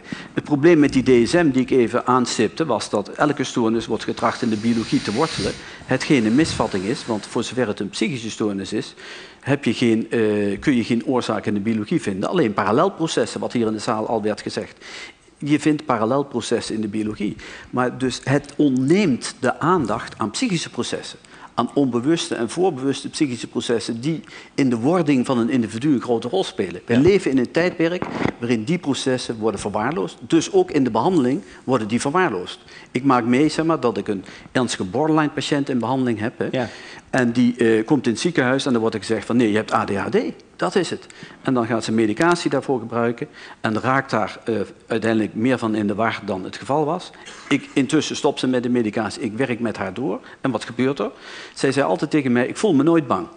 Totdat ze in die therapie op een gegeven moment uh, bang werd, want ze bleek zich wel bang te voelen, alleen drukte ze dat weg. Toen zij haar gevoelens van angst kon beleven en doorwerken, verdween haar zogenaamde ADHD-klachten.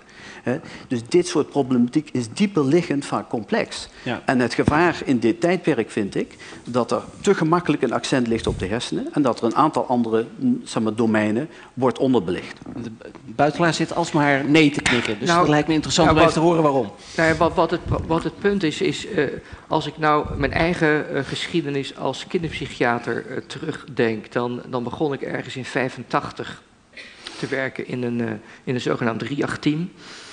En uh, daar deed ik uh, heel veel wat een genoemd werd speltherapieën, dus, dus, psychologische behandelingen waarin je praatte met die kinderen en je, je, gaf allerlei duidingen en je was bezig met die ouders. En ik kan me herinneren dat ik toen uh, kinderen twee jaar in behandeling had en dat je dus hard moest werken. En, en er was een maatschappelijk werkster die praatte met die ouders. En na twee jaar hadden we minimale vooruitgang geboekt. Dusdanig dat die ouders op afbreken stonden, depressief werden, overbelast. En op een gegeven moment zei ik, nou ja, weet je, uh, ja, er zijn ook wel medicatie, ja, dat doen we niet zo gauw. We waren toen heel erg terughoudend in Nederland. Laten we het toch maar eens proberen. Ja. En dan had je binnen uh, twee maanden een ander kind. En uh, dat soort ervaringen zijn natuurlijk niet uitzonderlijk. Die, die zijn heel veel geweest. Ja. Ja. Dus, dus, dus met andere woorden, ik denk dat we echt, echt moeten onderscheiden tussen... nou, ik zou bijna, en dat bedoel ik niet denigreren, maar interessante uh, beschouwingen om, om ja, holistisch naar mensen en kinderen te kijken in, met allerlei aspecten. Natuurlijk is dat van belang. Maar als je gaat kijken wat in de praktijk zoden aan de dijk zet, dan zijn dat vaak niet die uh, inzichtgevende, subtiele behandelingen die, uh, die bij heel veel cliëntelen niet aanslaan, die heel duur zijn en waar de bereikte resultaten slecht zijn geobjectiveerd, slecht zijn aangetoond. Notabene wat ik in de dia liet zien, dat zijn zeer heldere manualized gedragstherapieën. Ook daarvan zijn de resultaten dus niet overtuigend. Mm -hmm. uh, dus ja, dat maakt dat ik, dat ik wel de de, de, de, het interessante van de gedachtegang zien, maar niet de praktische implicaties. Als er brand is, moet je blussen. Dat is ja, dan moet je blussen en niet ingewikkeld gaan doen over interessante geuren of interessante... Maar, switch, maar zo switch je heen en weer tussen de behandelpraktijk en de onderzoekspraktijk. Nou, en als wetenschappers denk ik dat we er goed aan doen om met elkaar te debatteren over welke optieken en, welke, mm -hmm. uh, en de wijze waarop je onderzoek doet, wat daarbinnen essentieel is en hoe je daar dus denkfouten in kunt maken. In de behandelpraktijk kun je ook van een angststoornis zeggen, hè? dus trek dat maar even door. Als mensen een angststoornis hebben, dan is de kortste behandeling is een benzodiazepine. Hè? Dus dan worden ze meteen rustig. maar we zijn tegenwoordig er wel van overtuigd dat je dat dus niet meer moet doen bij angststoornissen. Zeker niet alleen in benzo. Maar vind je dat ook, voor ook van de medicatie die aan kinderen met ADHD-diagnose worden gegeven? Ik sluit niet uit dat we daar straks, als we daar veel meer vanaf weten, zeg maar, tot vergelijkbare inzichten komen. Maar is de reden om te denken, dat moeten we, eigenlijk moeten we dat helemaal niet doen? Nee, nee absoluut niet. Want uh, zeg maar, mijn laatste opleiding was een master in de psychofarmacologie. Dus uh, zeg maar, ik ben de laatste die de waarde van uh, zeg maar, medicatie en behandeling bijdraagt, maar dan wel op basis van een adequate diagnostiek van een individueel geval. Waarbij je dus niet voorbij moet gaan, zoals nu gebeurt, aan die psychische patroon. Ja. En dus die worden dus nu vaak in mijn ogen ja. onderbehandeld. Ja. Er werd net iets gezegd wat ik in een ik bijzin... Wil, wel, ik wil één punt zeggen, want ik denk dat wat, uh, wat Jan zegt over, over temperament, dat is wel een belangrijk punt. Ik zie natuurlijk ook wel eens uh, op televisie voorbeelden van ADHD-kinderen waarbij ik denk, ja, dat lijkt me gewoon een temperamentvol kind. Maar dat is niet per se ADHD. Ja, dat, dat, is die curve die je tekent. Ja, dat is die curve. Ja. En, en, en, en het is zeker zo dat een kind met een aantal ja, extreme vormen van temperament uh, het risk is, risicovol is om gecombineerd met andere narigheid tot een ADHD-kind te ontwikkelen. Maar dat, dat is gewoon een, een moeilijke differentiaaldiagnose. Je hebt geen kinderen die zijn energiek, die zijn ad rem, zijn pittig, uh, maar zijn gebalanceerd, zijn niet altijd in de problemen. Ja, dan, dan is er geen, geen ADHD. Ja. In, in mijn optiek. Maar als iemand dan daar last van heeft en probeert het voor elkaar te krijgen dat je wel zegt het is ADHD? Nou ja, laat ik zo zeggen. Ik maak mee dat, dat, je, dat ik soms ook nee verkoop. Ik zie heel veel kinderen die uh, in second opinion, die dus door anderen zijn gezien en die verhaal komen halen. En het komt minstens in de helft van de gevallen voor dat ik zeg, nou ja, ik snap wat anderen opgeschreven hebben, maar ik kan het niet bevestigen. En, ja, ja. en dat je soms nee moet verkopen en een ander kader aanreiken om het gedrag van het kind te begrijpen. Dat komt zeker voor. Oké. Okay. Dus, nou, dat vind ik heel interessant. Dus u zegt ook gewoon geregeld. Uh, iemand heeft gezegd dit is ADHD en ik denk dat dat niet goed is. Of een andere diagnose. En dat je daar eens naar kijkt en het ja. dossier tot je neemt. En met het kind praat, met de ouders praat. En een andere conclusie trekt. Ja. Er werd net in een bijzin iets gezegd uh, wat ik wel interessant vond. Het ging even over die medicatie. En binnen twee weken had je een ander kind. Toen dacht ik, ja, maar is dat wel de bedoeling dan? Soms wel. Ja? Ja, natuurlijk. Als die, als die voortdurend, uh, als elke maaltijd een, uh, een loopgravenoorlog is, een strijd. Ja. moeder uh, met vlekken in de gezicht tot aan het plafond zit. Vader liever buiten de deur gaat eten of gaat overwerken. Um, maar dan, ja, maar dan spreken we echt over hele extreme gevallen. Nou, ja, dat, okay. is, dat, ja. dat is ja. bij, bij slecht behandelde uh, kinderen is dat natuurlijk toch vaak aan de orde. Kijk, wat ook een groot misverstand is, en bedoel, laat ik, laten we imaginair toch in dialoog gaan met mevrouw Badstra. Want zij maakt herhaaldelijk het punt. Beetje dat voorzichtig, ze, ze is niet lekker. Nee, dat, daar, maar dat, dit kikt het haar op. dit, echt waar, okay. dit is een heel goed bericht voor haar. Nee, maar goed, vaak zegt zij en ook anderen, die zeggen eigenlijk van. Maar die medicatie die bederft het ook. Want als je te snel medicatie geeft, dan willen die ouders niks meer. Dus, dus, dus er wordt eigenlijk ook een soort. Dus alsof je daarmee de motivatie wegneemt. Maar mijn ervaring is dus dat het vaak juist andersom is. Als ouders gedragstherapie en, en, en, en, en werken aan uh, andere beloningsschema's enzovoort. En, maar dat gaat maar heel moeizaam. En op een gegeven moment dan hebben ze de, de brui aan. Als ze merken dat het kind zich beter gedraagt, gaan zij in een andere rol zitten. Hmm. Gaan zij, vinden zij meer lol om met het kind leuke dingen te gaan doen. En krijg je eigenlijk dat je de hele zaak uh, switcht naar een heel andere sfeer in huis. En gaat ook die psychologische of die Ja. gedragsbegeleiding veel beter lopen. Derksen? Ja, dus een, een, een ander kind krijgen, dus dat, eh, dat is een beetje kort door de bocht, denk ik. Hè. Dus als je, als je veel van de impulsiviteit en hyperactiviteit wegneemt, dan krijg je natuurlijk een andere, eh, eh, een andere verhouding tussen de verschillende persoonlijkheidstrekken. Ja. Maar je verandert niet de hele persoon daarmee, natuurlijk. Dus je krijgt geen ander kind, dat is maar goed ook. Natuurlijk, hè. Ja, oké. En dat het soms zo kan werken dat eh, ze met de medicatie ook andere begeleiding mogelijk maakt, is ook mijn ervaring. Ja. Maar dat dit zeg maar, de extreme gevallen zijn voor zover ik ze zie, is, is eh, ook mijn ervaring. Ja. En dat in veel mildere gevallen zeg maar, het veel gemakkelijker voorkomt in deze tijd dat mensen zeggen van oh je zou wel ADHD hebben, daar gaat een pilletje in en we zijn overal van verlost. En we zijn ook ontslagen van onze opvoedingskwaliteiten, we zijn ontslagen van onze grenzen stellen in de opvoeding, van de consequent zijn in de opvoeding. Ik kreeg een vader bij mij die zegt van nou eh, mijn zoon heeft ADHD, ik heb de Ritalin ook geslikt, heeft mij ook geholpen.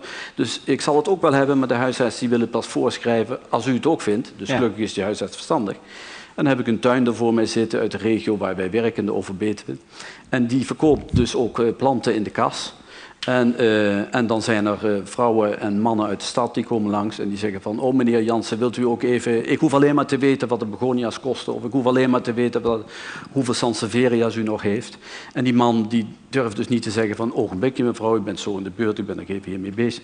Dus wij geven deze man een, een eenvoudige eh, assertiviteitstraining. Ja. En eh, alle eh, zogenaamde ADHD-symptomen zijn verdwenen. En dus ik, ik zeg helemaal niet dat dit de praktijk is van mijn collega Jan Buitelaar, maar dit, dit kom ik vaak tegen. Dit Ja. kom ik vaak tegen in de eerste lijn. Op het niveau van de huisarts en op het niveau van het denken over ADHD. En dan denk ik van, dit hebben wij zelf geproduceerd met onze DSM. Die zeg maar geen diagnostiek is, maar klassificatie. En waarbij we met etiketten werken die niks verklaren. Die eigenlijk gewoon geen inhoud hebben. Dat is alleen maar een samenvatting Dat woord DSM is nu trekken. al meermalen gevallen. Eh, Ik denk altijd aan een grote chemiereus ergens in het zuiden des lands, maar dat is dus niet eh, wat we bedoelen. Eh, misschien even heel kort, DSM, wat is dat? Is een klassificatiesysteem van psychiatrische is een dik stoornissen. boek met definities, toch? Voor het eerst gepubliceerd in 1952. We krijgen nu in mei 2013 de vijfde editie.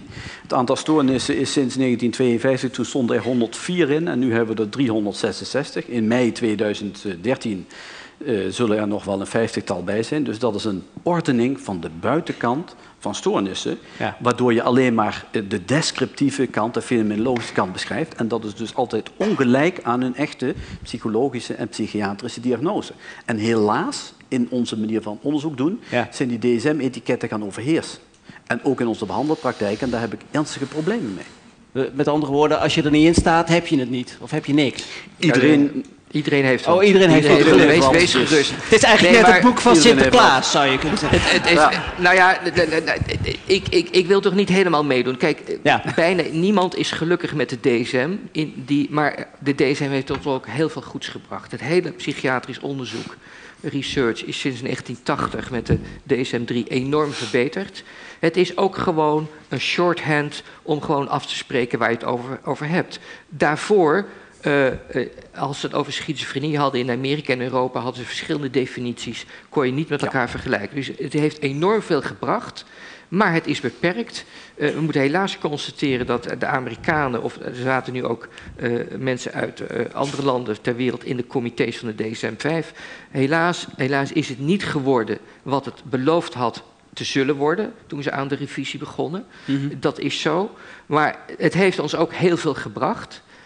En ehm, ja, En? we zullen, Maar we zullen AD het er voorlopig mee moeten dan doen. weer terug naar ADHD. Dat is gewoon en hij een, is van een iedereen hoofdstuk in dat de boek. DSM.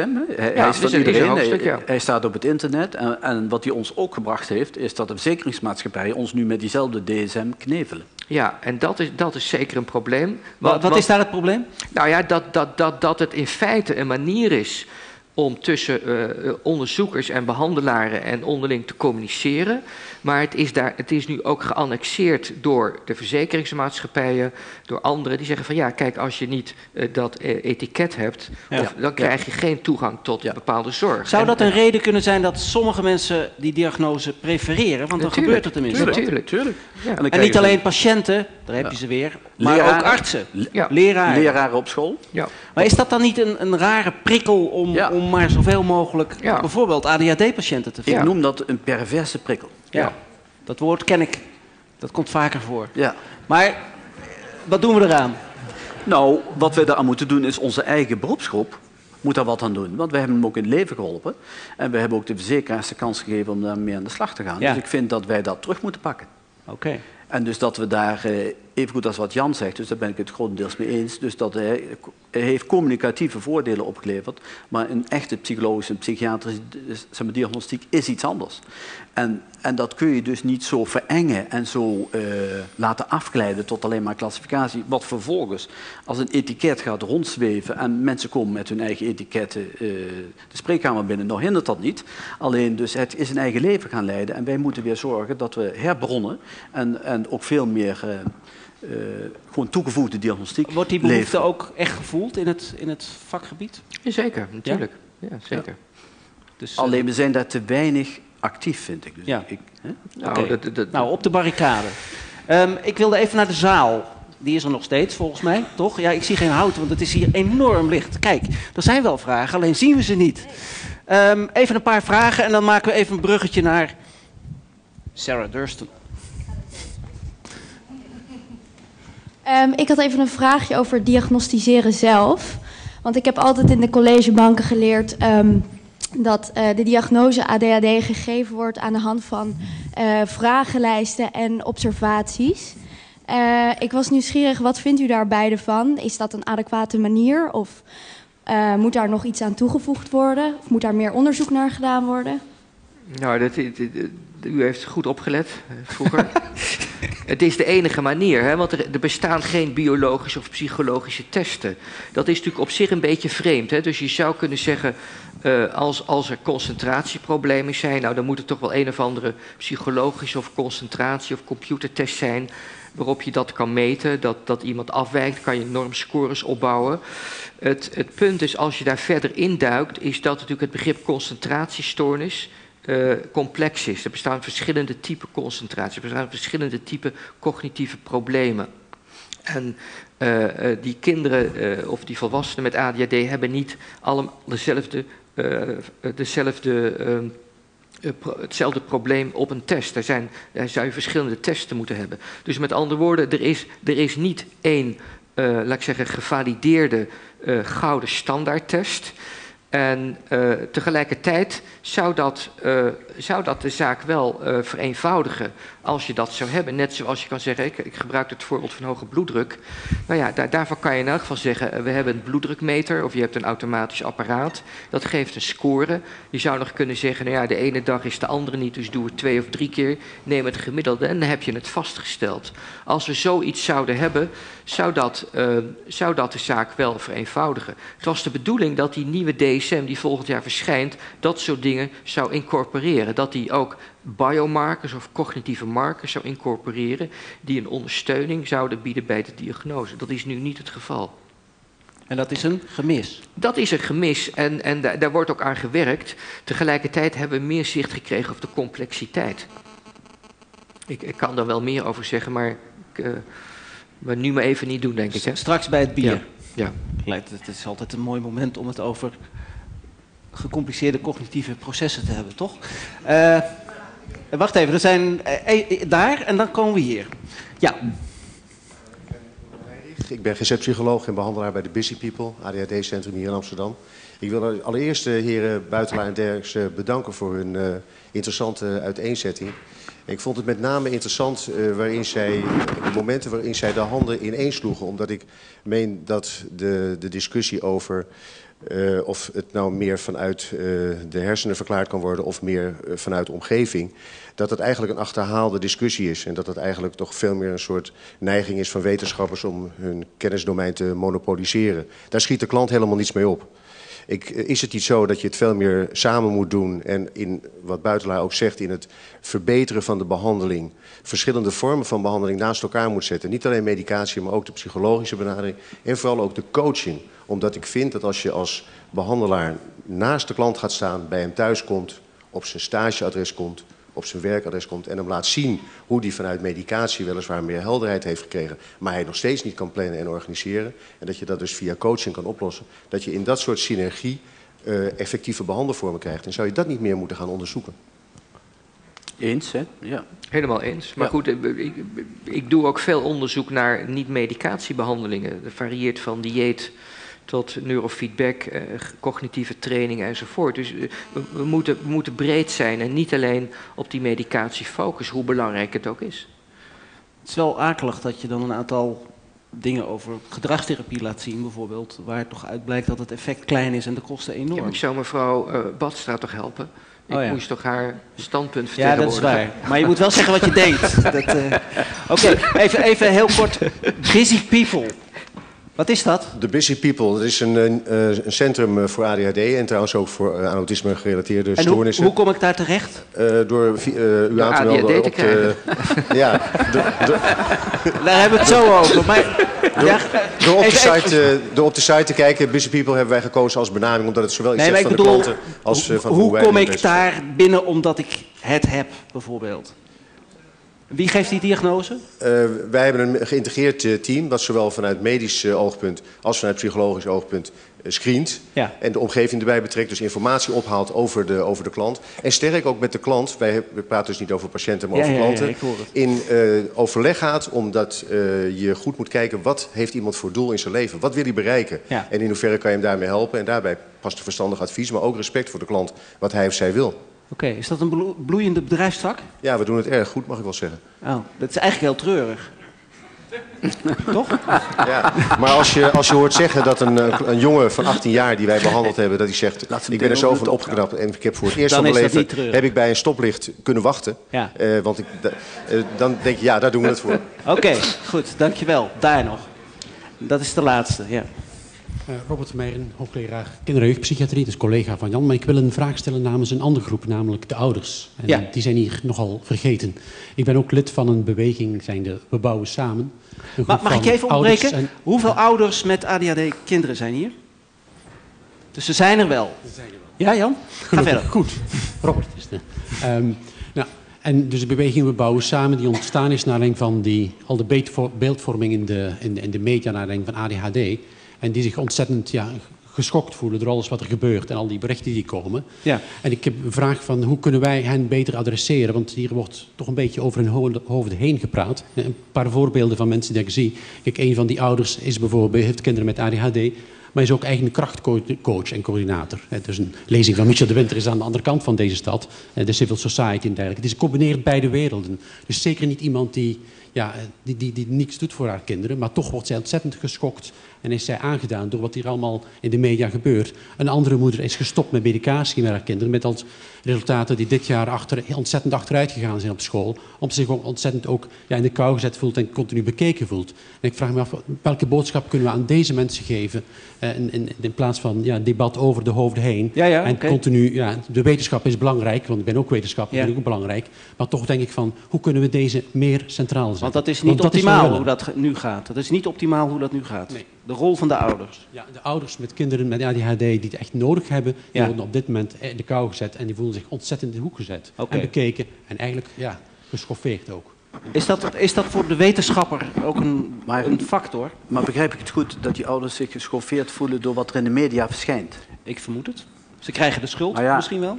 Kijk, die media, ik weet niet eh, hoe het de rest van de zaal vergaat, maar daar kun je op allerlei manieren natuurlijk altijd door geschoffeerd voelen. Maar dus, er is maar één hele goede manier, namelijk om. Da- daar om zijn ze ook min of meer voor, hè? En om je daar niks van aan te trekken. Dus ik denk dat ze geholpen moeten worden om zich van die berichten in de media echt helemaal niks aan te trekken. Dus Lukt schiet dat een beetje, je- dames en heren ouders? Dat lukt wel, hoor ik zo links en rechts. En, en in de regel hebben ze zeg maar een vertrouwenspersoon, een hulpverlener, met wie ze een vertrouwensrelatie hebben en die ze adequaat op biologisch, psychologisch en sociaal vlak kan voorlichten en gidsen. En die ze serieus neemt en die empathisch is. En dus dat is je ori- oriëntatiepunt. Ik zou me niet op de krant richten. Dat. Oké, nou dat is een heldere en simpele boodschap. Al moet ik dat als schrijvend journalist natuurlijk een beetje nuanceren. een beetje nuanceren, ja, Ehm, ja. Buitelaar? Nee, ben, ik- ben ik het mee eens. Kijk, wat, wat opvallend is, is natuurlijk dat, dat ADHD kennelijk eh, iedereen eh, prikkelt of uitnodigt tot eh, ferme standpunten. Ja. Of je nou Tweede Kamerlid bent of journalist of sportverslaggever, maar iedereen heeft daar een mening over. En het- je zal nooit eh, op- eh, in eh, nieuwsuur of een ander televisieprogramma een discussie tegenkomen over het publiek die zegt, nou we gaan nu eens uitvoerig praten over hoe de blinde darmoperatie het beste kan worden uitgevoerd. Maar iedereen heeft een mening over ADHD. Hè, en, en ik snap heel goed dat ouders in, in, want de ondertoon is toch, ouders zijn gemakzuchtig, consumentistisch, kiezen de makkelijkste oplossing, medicatie, eh, willen geen tijd in hun kind besteden. Dat, Ja, ja. Ik, zeg, ik zeg niet dat dat in, in, voortdurend op de voorpagina van de krant, maar dat is eigenlijk de ondertoon van 9 van de 10 Maar volgens mij is de stukken vraag in de van media. Vermeeren ook, wat, wat, wat, hoe kun je zorgen dat het niet aan je hart gaat, dat soort dingen? Ik denk dat, dat je als ouders eh, voortdurend eh, moet kijken wat je gedaan hebt en wat je kon doen. En nadenken of je beter kan doen. En daar eh, in feite je zelfvertrouwen opbouwen. En je inderdaad daar toch voor een deel voor afsluiten. Ja. Maar als je een gevoelige ziel hebt, dan moet je naar de echte psycholoog. Oké, zo kan nu alweer. Tot zover. Sarah Dursten, mag ik je vragen om even hier eh, voor eh, plaats te nemen op deze... Ja, wat, wat, dank voor de... wat centrale plaats. Ja, blijf maar wel zitten, ja. Tenzij het niet meer houdt, maar... Nee, jawel toch? Bent de precies. Meer weten van- Eh, Sarah Dursten, eh, hoogleraar ontwikkelingspsychologie en het brein. Of in het brein? Ontwikkelingsstoornissen van de hersenen. Ja, kijk, dat is toch bijna hetzelfde. Bijna hetzelfde. Eh, Utrecht wel? Ja, wel Utrecht. Nee, kijk, ja. Utrecht. Ja, Ja. helemaal goed. Niet bij het Donders Instituut, want dat is in Nijmegen, zoals we Precies, gehoord hebben. ja. Ehm, en lid van de Jonge Academie. Ook dat is eh, zeg maar de, de, de, de, de jonge liga van de KNW. Al mag ik van geloof ik niet hardop zeggen, maar dat is te ingewikkeld voor dit soort korte bijeenkomsten. Ehm, Sarah, jij doet onderzoek naar het brein van kinderen met ADHD. Klopt, ja. Ehm, wie zijn die kinderen om te beginnen? Eh, bij ons zijn dat grotendeels kinderen die via de afdeling binnenkomen. ehm, bij de kinder- en jeugdpsychiatrie eh, van het UMC in Utrecht. Ja. Dat is ja, een derde lijn zorginstelling, zal ik maar zeggen. Dus die Mhm. kinderen hebben vaak al een heel eh, hulpverleningstraject achter de rug. Maar dit zijn officieel ADHD-patiënten. Het zijn officieel ADHD-patiënten. Het zijn kinderen die bij ons eh, van de klinici de diagnose ADHD krijgen. Ehm, vervolgens doen wij voor het onderzoek ook nog gestandaardiseerde diagnostiek of klassificatie, zou ik misschien moeten zeggen, van eh, de heer Derksen. Ja. Ehm, om ja, te controleren dat ze aan alle objectieve, voor zover dat objectief is natuurlijk, gedragskenmerken van ADHD voldoen. Volgens ouderinterview. Ja. Eh, door middel van eh, vragenlijsten die ook naar de leerkrachten gaan. Zodat we ook weten dat het in meerdere settings problemen oplevert. Mhm. Niet alleen thuis. Ja, dus eh, wat betreft het bronnenmateriaal, dat is midden in Dit de zijn, groep dit zijn kinderen met, met een serieuze ADHD. Ja. Niet de groep die misschien per ongeluk een label krijgt als het niet nodig is. Oké. Ehm, wat doe je? Eh, jullie onderzoeken de hersenen. Nou, dat Ja. doe je met scantechnieken, neem ik aan. Met MRI Wat- inderdaad. Beschrijf eens, hoe, hoe werkt dat nou in de praktijk? Ik kom met mijn tienjarige uh, druktemaker bij jou. En dan? Uh, nou, wat we eerst doen is uh, de gestandaardiseerde diagnostiek. Nou, wat we allereerst doen, moet nog een stapje terug, is dat we bellen met de deelnemers. Telefonische screening doen, uitleggen wat het onderzoek inhoudt, wat er allemaal gaat gebeuren. Een aantal screenende vragen stellen. Om te kijken of ze mee kunnen doen. Bijvoorbeeld zoals dingen als, heeft de, uw zoon, dochter geen slotjesbeugel? Want dan kunnen ze niet meer in de MRI, namelijk, vanwege het materiaal. en, komt dat, dat veel voor? In dat die... komt ontzettend veel voor. Ah, Het okay, is ja. enorm hinderlijk voor het, voor het MRI-onderzoek. Ja. Um, Als we dat gedaan hebben, dan wordt het kind met de ouders of één ouder uitgenodigd. Dan doen we de gestandardiseerde diagnostiek. Dat wil zeggen, een ouderinterview met de ouder. Tegelijkertijd krijgt het kind een intelligentieonderzoek, verkort intelligentieonderzoek. Mm vragenlijsten vullen ze van tevoren al in thuis. En dan gaan we vervolgens voorbereiden voor de MRI. Dus dat betekent dat we naar een oefen-MRI-scanner gaan. Een oefen-MRI-scanner? Een oefen-MRI-scanner. We hebben een, een nep-MRI staan, zonder magnetisch veld. En wat moet je oefenen dan? Uh, het, is, het, is, puur ter voorbereiding om te kijken hoe zo'n MRI-scanner aan toe gaat, wat ze kunnen verwachten op het moment zelf. Het is natuurlijk een uh, groot, eng, medisch ogend apparaat. Potentieel. Ja, het maakt enorme herrie ook. Het maakt herrie. Uh, dus al die aspecten die oefenen we van tevoren, zodat iedereen precies weet wat er gaat gebeuren. Als blijkt dat het kind het te eng vindt, dan gaat het hele feest niet door dan doen ze niet mee. Dat hoeft niet. Hoe stel je dat vast? Door dat in die oefen-MRI te we proberen? We gaan oefenen, ja. En dan uh, vragen we aan het kind hoe eng vond je dit op een schaal van 1 tot 10. Dan geeft hij een score aan van tevoren. Na het oefenen nog een keer en dan nog een keer vlak voor de echte MRI-scan. Ja. Vragen we ook aan de ouders. De onderzoeker geeft zelf ook een score. En als een van die drie mensen een score geeft van 8 of hoger, dan gaat het niet door. Ja, ja. En vaak is dat de onderzoeker. Die is dan toch degene die de stekker eruit trekt. Omdat je denkt, dit gaat niet goed? Nou ja, omdat je ook denkt van, goh, dit kind vindt het eng en uh, die vindt dat hij het moet doen. Maar ja, waarom zou ja. het moeten als je als En als je dat kind nou, naar je inschatting, hele interessante hersens heeft, ga je dan iets verder? Dat kun je niet zo goed zien aan de buitenkant. Dat kun je niet nee, zien? Nee, nee oké. Okay. Laten we het hebben over wat je wel kunt zien. Uh, jullie maken een hersenscan van wat precies? Van de hersenen, dus we maken een... Ja, maar fMRI, dat is een activiteitenregistratie, dat, ja, we doen, we doen een aantal soorten scans. Uh, we doen altijd een anatomische scan, dus een mooie 3D-opname, hoge resolutie van, uh, van de hersenbouw. Ja. Uh, in sommige onderzoeken doen we dan ook inderdaad een functionele MRI-scan, waarbij we kijken naar activiteit in de hersenen, of tijdens rust of tijdens het doen van een cognitieve taak. Ja. Uh, we maken ook zogenaamde DTI-scans. Dat zijn scans waarmee je naar de witte stofbanen heel specifiek kunt kijken. Naar dat de is verbindingen een bepaalde tussen. structuur in je hersens? Ja, de, witte stoffen zijn de verbindingen tussen, tussen de hersengebieden. Dus tussen de hersenschors en Ja. tussen de, de dieper gelegen kernen. Die kun je zeggen. apart bekijken? Die kun je apart bekijken. Ja. Mhm. Dus dat is ook een type scan. Daar zijn nog een aantal. Maar Ja. Dat is eh, voor En ik hoor iets over taakjes. Je laat- Taakjes, ja. Dus je, je hebt een, even, ik kan me bijna niet voorstellen. Je hebt dus een kind dat probleem heeft met concentratie. Ja. Druk. Mhm. Die leg je in zo'n tunnel, daverende herrie. En dan moet je ook nog een taakje doen. Ja. En daar denk jij iets uit te kunnen halen. Dat, dat lukt dan ook niet altijd. Dat wil ik niet, eh, niet ontkennen. Eh, we verliezen ook data, omdat eh, ja, sommige mensen hebben moeite met stilliggen in Ja. Niet alleen kinderen met ADHD hoor. Dat, de Mhm. gezonde kinderen die, die hebben dat vaak ook, en volwassenen ook wel. Dus daar verliezen we data op. Ehm, wat we doen om, om eh, toch te proberen zoveel mogelijk data te verzamelen, is dat we proberen de taken zo kort mogelijk te houden. Dat is één. En eh, dat lukt niet heel goed, maar goed. En dat we het zo leuk mogelijk maken. Wat is het taakje dan bijvoorbeeld? eh, nou ja, een van de dingen waar we, we bijvoorbeeld naar kijken is eh, cognitieve controle. En daarvoor gebruiken we een zogenaamd inhibitietaakje. Dat is een heel simpel taakje. Ehm, we hebben hem wat leuker aangekleed om het wat speelser te maken voor, voor de mensen die meedoen aan het onderzoek.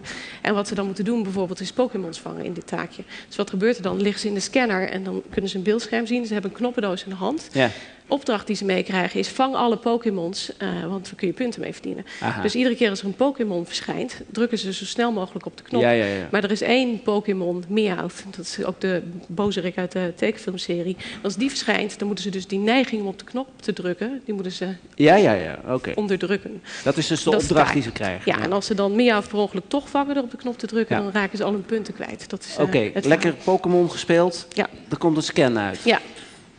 Wat kun je daaraan zien? Op individueel niveau eh, niet zoveel. Je kunt natuurlijk wel een, een, ja, met wat statistische methoden kijken naar welke gebieden in eh, het brein ehm, actief worden als je bijvoorbeeld op die knop drukt of als je juist je respons Mhm. moet onderdrukken. Ja. Eh, wat je dan vervolgens kunt gaan doen is, en tot dusver is het dus ja, echt kinderen met ADHD vergelijken met kinderen zonder ADHD, kijken van zijn er ook gebieden die meer actief zijn bij de kinderen met ADHD vergeleken met kinderen zonder ADHD of minder. Ja. Ehm, maar wat eigenlijk veel interessanter is natuurlijk, is om te gaan kijken naar de individuele verschillen. We hebben al gehoord van niet ieder kind met ADHD is hetzelfde. Ja. Ehm, en wat we denken is dat niet de hersensystemen die betrokken zijn bij ieder kind met ADHD ook dezelfde zijn. Dus je kunt, ehm, zou kunnen bedenken dat bij sommige kinderen met ADHD het meer dit soort hersensystemen zijn, die dus betrokken zijn bij cognitieve controle. Ja. En bij andere kinderen met ADHD misschien andere systemen in de hersenen. Nou ja, kun je dat vervolgens dat ook uit elkaar gaan trekken? Kun je gaan definiëren welke kinderen meer moeite hebben met cognitieve controle en dan vervolgens bekijken of die ook inderdaad andere hersenactiviteit laten zien in de systemen die daar belangrijk voor zijn dan Ja. de kinderen met ADHD die daar minder problemen mee hebben. Er was straks een opmerking over. Stel nou dat je verschillen ziet, hè? Ja. Is dat dan een gevolg van de ADHD of is dat een oorzaak? Hè, zo weer, er werd een vergelijking gemaakt Ja. met eelt op je, eh, op je Ja, voeten als je veel hard loopt. Ik vind het een briljante vergelijking. Ja, heel Ehm, goed, ja. Nee, ik denk dat is, dat is een heel terecht punt. Eh, het is zeker niet eh, te zeggen van nou ja, als je een verschil ziet in de hersenen, dan is dat de oorzaak van de ADHD.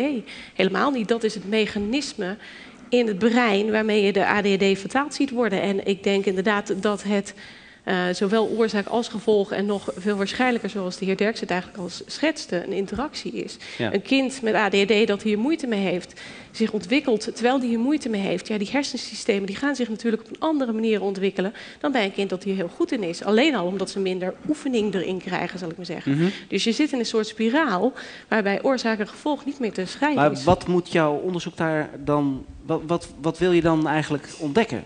Want dat je hersens erbij betrokken zijn, lijkt me eigenlijk bijna triviaal.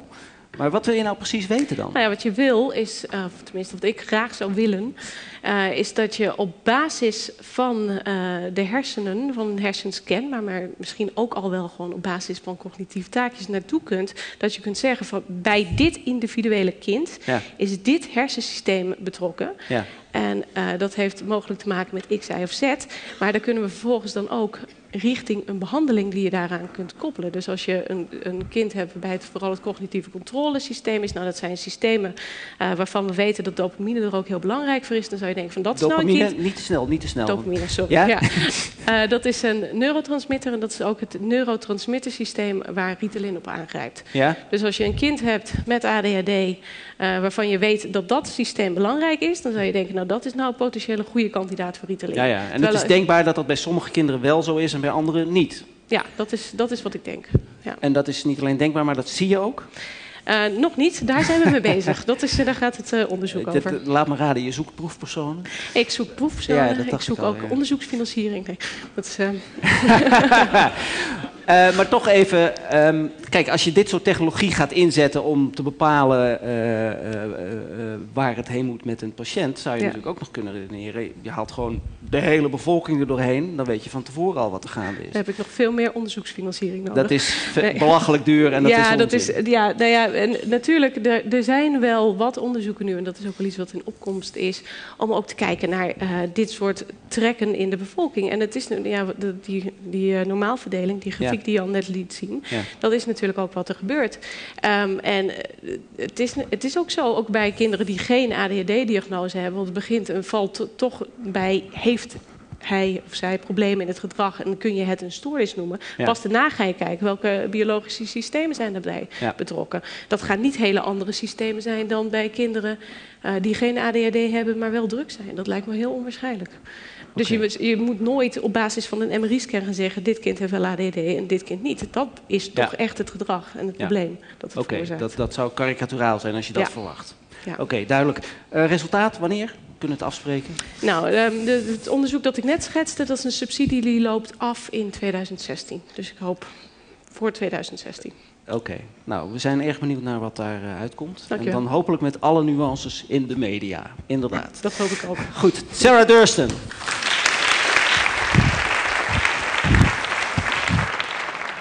Wij gaan, wij gaan gauw verder. namelijk met de andere helft van eh, eh, het ADHD-vraagstuk. namelijk eh, toch richting behandeling. Of ermee omgaan. Doe ik weer iets fout? Oh, niet eens. ja, ze is een soort... nou, ze weet alles, zeg maar. Ja.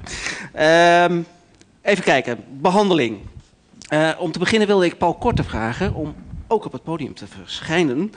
Paul Korte is algemeen directeur van Janssen Nederland. En neem iets te drinken als je, als je wil. Dat geldt overigens ook voor de rest. Zijn er nog glazen? Ik geloof het wel. U mag ook iets te drinken nemen, maar dat moet dan daarachter, zoals ik al zei. Ehm, even kijken. We eh, hebben, eh, ja, daar ben ik toch wel blij om, iemand eh, van de farmaceutische industrie op het podium. Ehm, ik heb van tevoren even met uh, Korte gesproken en ik, de, iets wat, wat, ik hem voorlegde was... hoe vaak treden jullie nou eigenlijk in het publiek echt op als... nou, wij zijn de farmaceutische industrie en ADHD, er wordt van alles over ons geroepen... maar daar wil ik wel over praten. Hoe normaal is het om met het publiek te praten, zeg maar? Nou, eigenlijk doen we dat veel te weinig op de eerste plaats. Hmm. Um, en daarom ben ik ook heel blij dat ik dat vanavond hier wel kan doen. Um, en de reden daarvoor is dat we um, merken dat als wij geïnterviewd worden of als wij uh, op tv of radio worden gevraagd om commentaar te geven, dat we al heel snel op een bepaalde manier daar worden neergezet. Uh, wat niet hetgeen is wat we in feite willen zeggen. Uh, dus ik, ik, hecht er zeer aan om gewoon mijn verhaal te doen daar waar ik dat helemaal vrij kan doen. Ja. Uh, zonder dat ik later een kant moet lezen dat het toch heel anders is. Ja, dat wordt hier niet Opgeschreven geknipt, zoals ik het gezegd had. Uh. Wordt hier niet en daar hebben we Eh, de, de reden dat we iemand van Janssen Nederland hebben is... jullie brengen een middel op de markt, een geneesmiddel moet ik het noemen, ja, denk ik toch? Ja.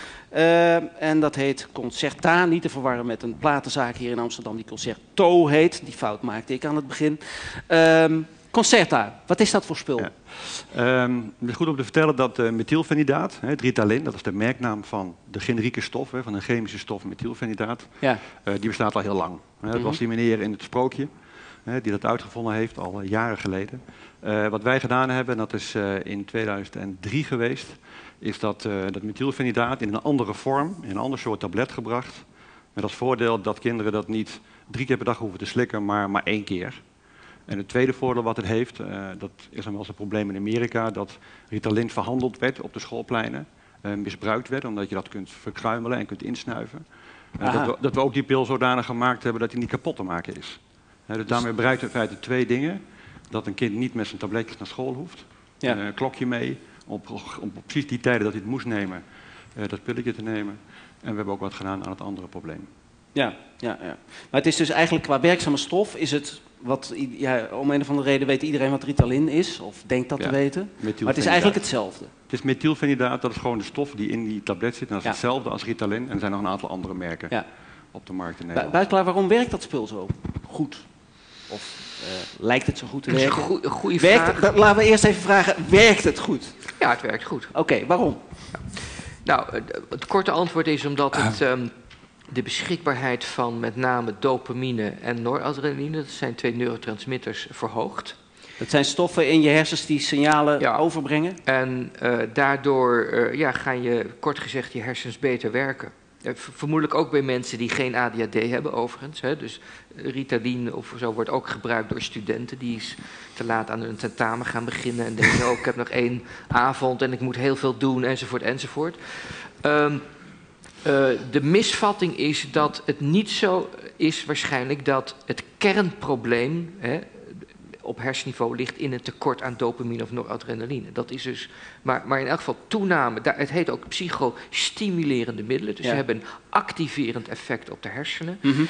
Ehm, ze, ze, ze, ze verbeteren de gedragscontrole in feite. En, eh, ja, dat, dat, en, en, en, en verbeteren ook eh, op een aantal psychologische taken de, de prestatie. Hè. Dus, dus minder fouten op de taken van cellen. Het zijn hele moeilijke taken soms die cellen bedenkt. Maar goed, Ritalin kan die taken eh, iets verbeteren. Dus ja. Ja. dat gebeurt er. Ja, ja. Ehm Dirkse, ik vroeg net, eh, werkt het goed? Is dat ook vanuit... Ja hoor. Ja? Is een, eh, Het is geen ontkomen aan, het nee, het is goed. een effectief, eh, in, in goed, goed gediagnosticeerd en geïndiceerd is het een effectief medicament. Jammer genoeg inderdaad raakt het ook via het internet eh, aan de man en aan de vrouw. En is er nogal een grijs circuit mee, dus je moet ook altijd goed navragen bij de patiënten of ze het niet al gebruiken en zo. Oh ja? Ja. Bij, bij een gesprek, een intakegesprek Ja. of iets dergelijks, vraag je, gebruik je al iets? Ja. Zonder... Dus ik sprak mijn eh, dochter die psychologie studeert en ook hier aanwezig is vanavond. En die vertelde dat ze net nog een hele strip aangeboden kreeg. Oh ja? Ja. Door iemand in het publiek? Nee, door... eh, dat weet ik niet. Door een vertegenwoordiger. Niet door mij, eh, nee, niet. eh. Daarom Ja, ben ik da- gaat- daarom zou zijn. eh. verder. Ja, ja, ja. In ieder geval dan een ander, Ja. een ander merk. Wie van u, ja, als u het wil zeggen of niet, dat moet u zelf weten, maar wie gebruikt hier Ritalin? Of concert, gebruikte? Ehm, ik vroeg daar, werkt het goed? Kan iemand die eh, het gebruikt, Ritalin of uh, Concerta, er iets over zeggen of het inderdaad ook in je eigen ervaring zo goed werkt? Het werkt. Ja. Oké. Eh, wie, wie, wie, wie? Oh, hier. Oké. Ehm, Sorry voor de rest. Weer bij het bier. Ik ben zelf gediagnosticeerd met een concentratiestoornis, wat ze dan ADD noemden. Of dat nou echt een goede benaming is, weet ik niet. Maar uh, ik heb er ook medicatie voor gebruikt. Ik heb eerst Stratera gebruikt, wat volgens mij weer op een heel andere manier werkt dan Ritalin. Um, alleen wanneer ik extra concentratie nodig had, bijvoorbeeld voor een luistertoets op school, um, toen heeft mijn psychiater mij extra Ritalin erbij gegeven. Dat heb ik een paar keer geprobeerd, maar ik had er eigenlijk juist heel negatieve ervaringen mee. Ik werd er extreem duf van. En het werkte nog uren door na mijn toets. En ik dacht de hele tijd, ik ben wat vergeten. Maar wat was het ook alweer? Ja, maar je was niet heel enthousiast dus, begrijp ik. Nee, uh, nee. ik heb bij Ritalin geen baat gehad. Bij Stratera echter wel. Oké, okay. is dat iets heel anders? Stratera heet dat? Ja. Oké. Okay. Nee, dat is ook vergelijkbaar.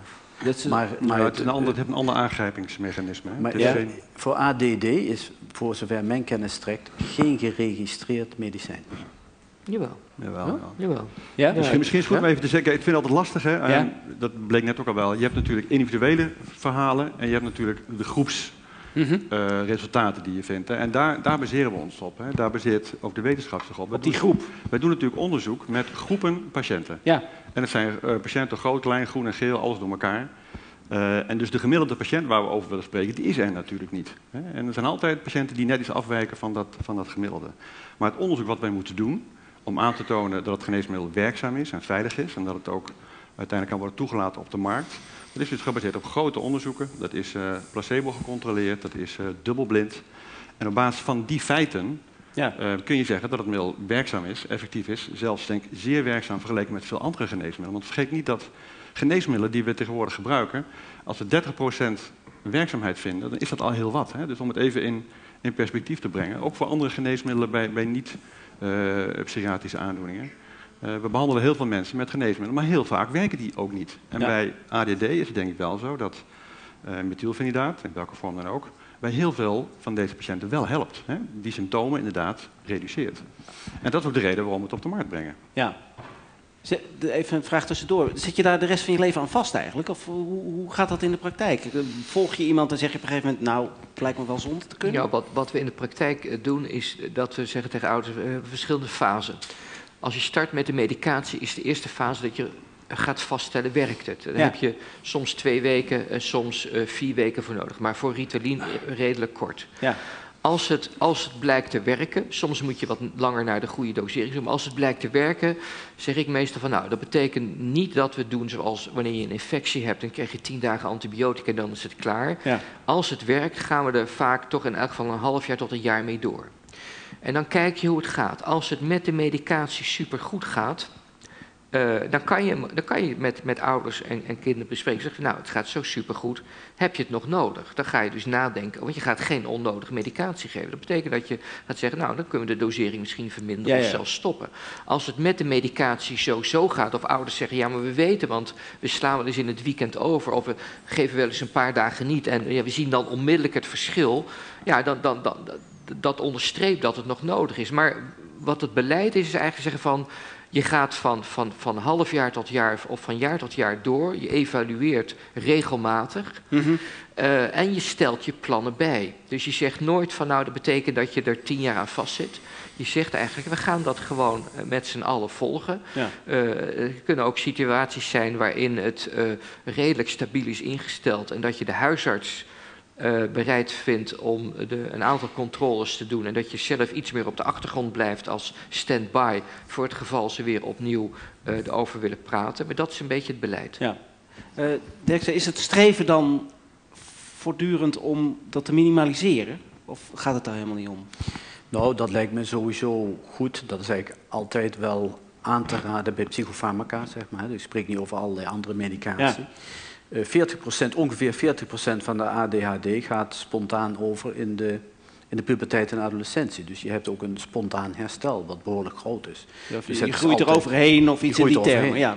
Dus het is ook een reden om daar niet zomaar mee door te gaan. Ja. Uh, er is ook follow-up onderzoek wat laat zien, als het 20 jaar gebruikt wordt, dus dat angst- en stemmingstoornissen toch vaak voorkomen. Ja, ja.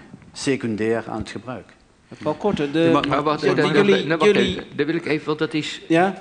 Dat is zeker geen algemene bevinding. Er, er zijn, nee, kijk, eh, je vroeg net van hoe, hoe blij moeten we nou zijn met de medicatie? Nou, Ja. de medicatie geeft bij, bij 2 op de 3, 70% van die kinderen een enorme verbetering van symptomen. Maar de grote discussie is, zijn die kinderen er nou uiteindelijk beter aan toe? Verbetert het echt langdurig hun, hun functioneren? En daarover zijn de gegevens niet eenduidig. Maar wat wel duidelijk is geworden, is dat bijvoorbeeld allerlei afwijkingen op hersenniveau bij de kinderen die behandeld zijn, langdurig, eh, er niet meer zijn vergeleken met normale kinderen. En de onbehandelde ADHD-kinderen wel. Bijvoorbeeld, eh, kinderen hebben verschillen in hersenvolumina. De behandelde kinderen hebben dezelfde volumina als de, als de normale kinderen. Eh, kinderen die behandeld zijn, die ontwikkelen in principe minder complicerende angst en depressies dan degenen die niet behandeld zijn. Hmm. Mensen die behandeld zijn, hebben misschien een lager risico op verslaving dan de onbehandelde ADHD-kinderen. Dus met andere woorden, eh, het, het, het, het, het is een ingewikkeld gebied. Eh, het is geen geneesmiddel in dat het eh, als het ware cureert. Maar Ja. de aanwijzingen die we hebben, die, zijn, die tenderen toch eerder naar positieve langetermijn Ja. effecten dan negatieve. Ja. Paul Korte, wat betaal jij hem nou? Sorry? Nou, dan moeten we nog na afloop even. Ik, nee, hoe rekenen jullie dit? Het is een waanzinnig positief verhaal eigenlijk. Eh, en het verhaal is natuurlijk altijd dat jullie ontzettend achter die wetenschappers aanzitten om ze dat positieve verhaal breed en goed te laten vertellen. Nou, het is goed dat ik die vraag stel, denk ik. Ja. Ehm, Maar vertel eens, het het antwoord daarop kan geven is... Kijk, wij, afgelopen zaterdag stond in de krant... ehm, dat eh, Philips samen met, met de VU in Amsterdam... Ja. een eh grote nieuw scanapparaat heeft ontwikkeld. Een, een nieuw apparaat. Ja. Eh, en met geneesmiddelen is het niet anders. Als wij een nieuw geneesmiddel maken, dan kunnen wij het niet alleen. Dat doen we niet zelf. Voordat überhaupt nog sprake is van een geneesmiddel... Hè, zijn er relaties tussen artsen, onderzoekers bij ons... met artsenonderzoekers eh, in Nederland en, en overal in de wereld. Hè. Ja. Waarom? Omdat wij allebei hè, die, die wens hebben om uiteindelijk die patiënten beter te maken. Met geneesmiddelen of op andere manieren. Dus die, die relatie die, hè, die er bestaat tussen wij als bedrijven en de onderzoek van onze bedrijven en de wetenschappers, laten we het hè, tot, beperkt tot Nederland, Ja. die is er van, van het begin al. Ja. En dat is een hele goede, die kennis moet worden gedeeld, zo komen we samen verder. Ja. En, en ja, hoe dat nou komt, weet ik niet, maar continu wordt die relatie door heel veel mensen uitgelegd als van, ah, dus dat is de grote verklaring voor het feit dat wij zoveel ADD hier in Nederland zien. Nou ja, kijk, ik, ik praat er natuurlijk een beetje met een trechter naar dit antwoord toe. Want mijn vraag was, is bij jullie niet in de praktijk het, het streven naar een minimale medicatie? En ik weet niet hoe dat in de industrie ligt. Minimale medicatie lijkt me niet helemaal in jullie belang. Nou, wij, wij verdienen aan onze geneesmiddelen. Ja, nou, dat is ook niet duidelijk, hè? verboden. Dat is duidelijk, hè? Ja. Ehm, maar er zijn een aantal zaken die je denk daarbij wel ehm, heel goed in ogen moet, moet, eh, moet, in oogschouw moet nemen. Ehm, op de eerste plaats hebben we natuurlijk een geneesmiddel ontwikkeld voor een bepaalde indicatie. Hè. Als je kijkt naar de tekst, hè, de bijsluitertekst, Ja. dan staat daarin hè, dat eh Concerta in dit geval moet worden gebruikt eigenlijk naast andere therapieën. Dus dat is ook al belangrijk punt wat net niet besproken is. Het is niet dat wij zeggen, dat wij studies hebben gedaan met alleen maar de pillen. Het is juist de samenhang hè, van gedragstherapie, van informatie aan ouders en kinderen. En daarnaast hè, die tabletten. Dat is één. Dus het is eigenlijk een, een combinatiebehandeling. Ja. Ehm, het tweede punt is dat wij er alleen maar baat bij hebben dat de juiste patiënten worden gediagnosticeerd. Hè, op de eerste plaats. Wij hebben er absoluut geen baat bij hè, dat, dat geneesmiddel buiten hè, het onderzoek, hè, buiten wat, wat geregistreerd is, wordt gebruikt. Want dat kan leiden tot resultaten die... Want dat geeft, AA, willen we dat niet? Het want, werkt daar- niet. want daarvoor hebben we het niet Ja. ontwikkeld.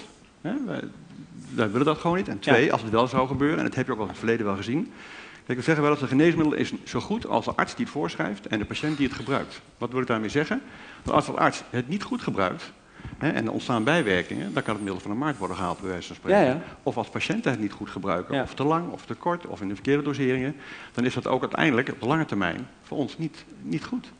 Laat staan dat het voor de patiënt zelf natuurlijk niet goed is. Ehm buitelaar, hoe, hoe ervaar je vanuit de andere kant dat ja, de contacten met de, met de industrie, die eh, nou, in, in het eh, karikaturale geval gewoon goed geld wil verdienen aan veel pillen? Merk je daar iets van?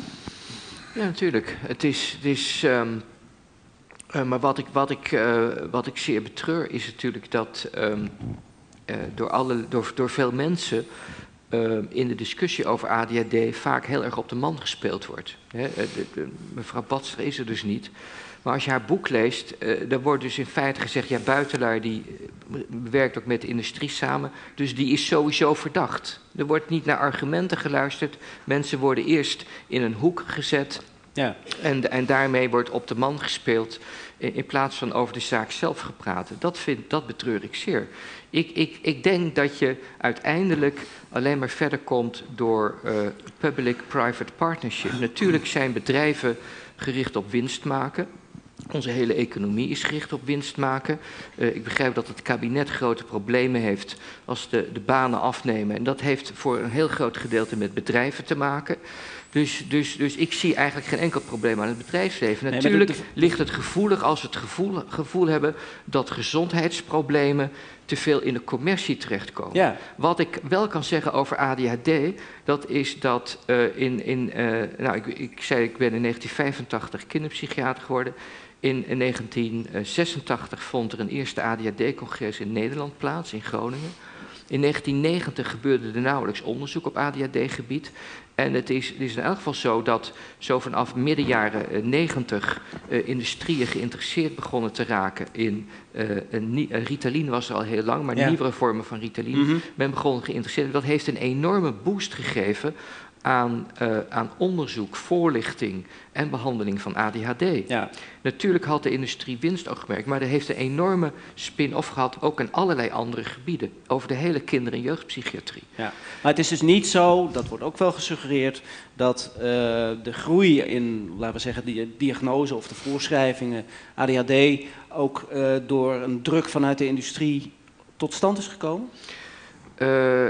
wat mij betreft niet. Uh, natuurlijk heeft de industrie baat bij awareness. Ja. Huh? Dat ja. Bij, bij uh, meer kennis. Jawel, uh, maar je kunt het ook gewoon lekker opstoken, toch? Nee, dat gevoel heb ik zelf maar ik, niet. ik wil het toch, wel, toch nee, wel... ik wil eerst even naar Dirk. Toch wel nuanceren. Die zat heel instemmend ja, te knikken. Ja. Nou, kijk, laat ik eerst zeggen dat als de farmaceutische industrie er niet zou zijn, dan zou het ernstig ontbreken aan heel veel goede medicamenten. Dat ja. staat als een paal boven water. Tegelijkertijd moet je natuurlijk constateren dat de neutraliteit van de onderzoeksresultaten in, een farmaceutische, in de farmaceutische industrie kwetsbaarder is dan wanneer dat aan onafhankelijke instituten zoals de universiteit gebeurt. Ja.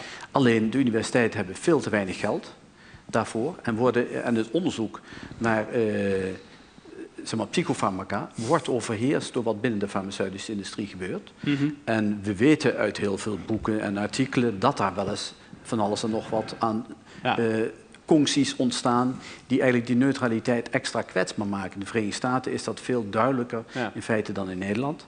Ik denk eigenlijk uh, dat gewoon de psychiaters en de onderzoekers die samenwerken met de farmaceutische industrie, ze dat prima kunnen doen, maar dat ze gewoon heel assertief moeten zijn. En dat ze zeg maar ook als de resultaten voor een medicament bijvoorbeeld slecht uitpakken, dat ook moeten publiceren. Ja, wel korter. Ja, ik wil het toch wel nuanceren. Ja, uh, heel graag. Kijk, het is heel makkelijk denk ik om een aantal incidenten, hè, denk, denk, die, die te maken hebben met de farma-industrie, ja. op andere terreinen, hè, die in het verleden gebeurd zijn, die ontken ik ook niet. Hè. Maar wat we niet moeten doen, is die incidenten groter maken en veralgemeniseren. Dat, mm -hmm. dat op de eerste plaats. Dat doet denk ik geen recht aan, aan, aan ons bedrijf en denk ook niet aan, aan de bedrijfstak.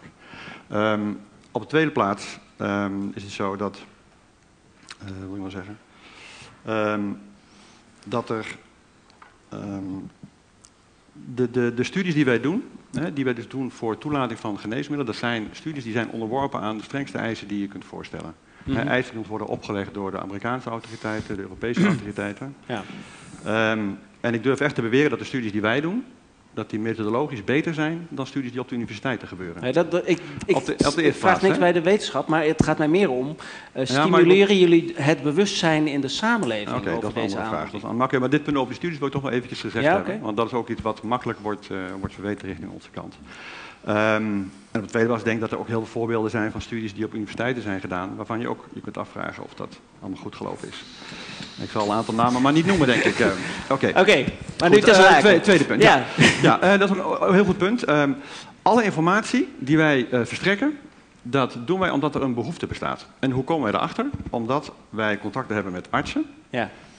en die artsen zeggen ons, van, goh, het zou zo mooi zijn als we nou zo'n boekje hadden waarin stond wat nou eigenlijk ADHD is. Zodat we het mee kunnen geven aan ja. die kinderen en aan die ouders. Maar het zijn kinderen, dus maak dat een beetje vrolijk. Uh, maak er een kwartet of zo van, weet ik wat. Ja. Hè, zodat die kinderen daar wat mee kunnen doen.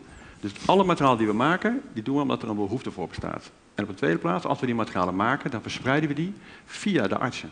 En dus wat wij niet doen, en wat Laura Basler wel in haar boek heeft staan, Hm. is dat wij op grote schaal scholen of het algemene publiek, hè, waar ADD nog helemaal niet speelt, Patiëntenverenigingen. wijzen op het feit dat ADD bestaat. Dus alle materialen die wij, maar zeggen, ik kan er niet voor 100% voor instaan, maar alle materialen die wij gemaakt hebben, die zijn beoogd om echt te geven aan ouders en kinderen die al bij de arts komen. Dus waar ADD in feite al of een diagnose is of gediagnoseerd gaat worden. Dus dat, dat op de eerste plaats. Ja.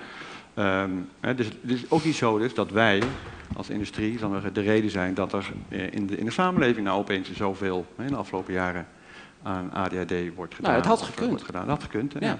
Maar ik denk wel dat het feit dat er een, ontken ik niet, dat er een behandeling is, natuurlijk wel een aanzuigende werking heeft. Dat, dat zal zeker zo zijn. Ja. Als, als psychiaters weten dat ze kunnen behandelen, dat die studies er zijn, ja, dan zal het uiteindelijk ook wel leiden tot, tot meer behandeling. Dat ontken ik niet. Dat zie je op andere terreinen ook. Ja. Ja. Goed. Ehm, ik zag op de klok dat het al na tien is. Dat is eigenlijk veel te laat, want Jelle Reumer moet nog zijn verpletterende eindspeech houden. Dus ik zou u in ieder geval zeer willen bedanken alvast voor alle inbrengen en alle eh, ja, zeg maar gepassioneerde verhalen vanuit verschillende perspectieven. Jan Derksen, Jan Buitelaar, Paul Korte. Dankjewel. Dankjewel.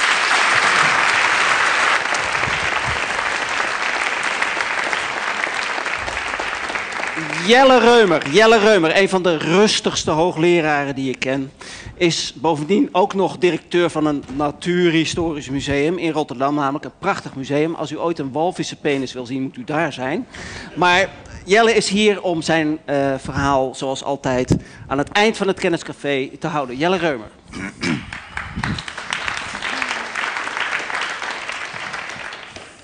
Het is inderdaad verblindend, eh, Martijn. Ja, goed.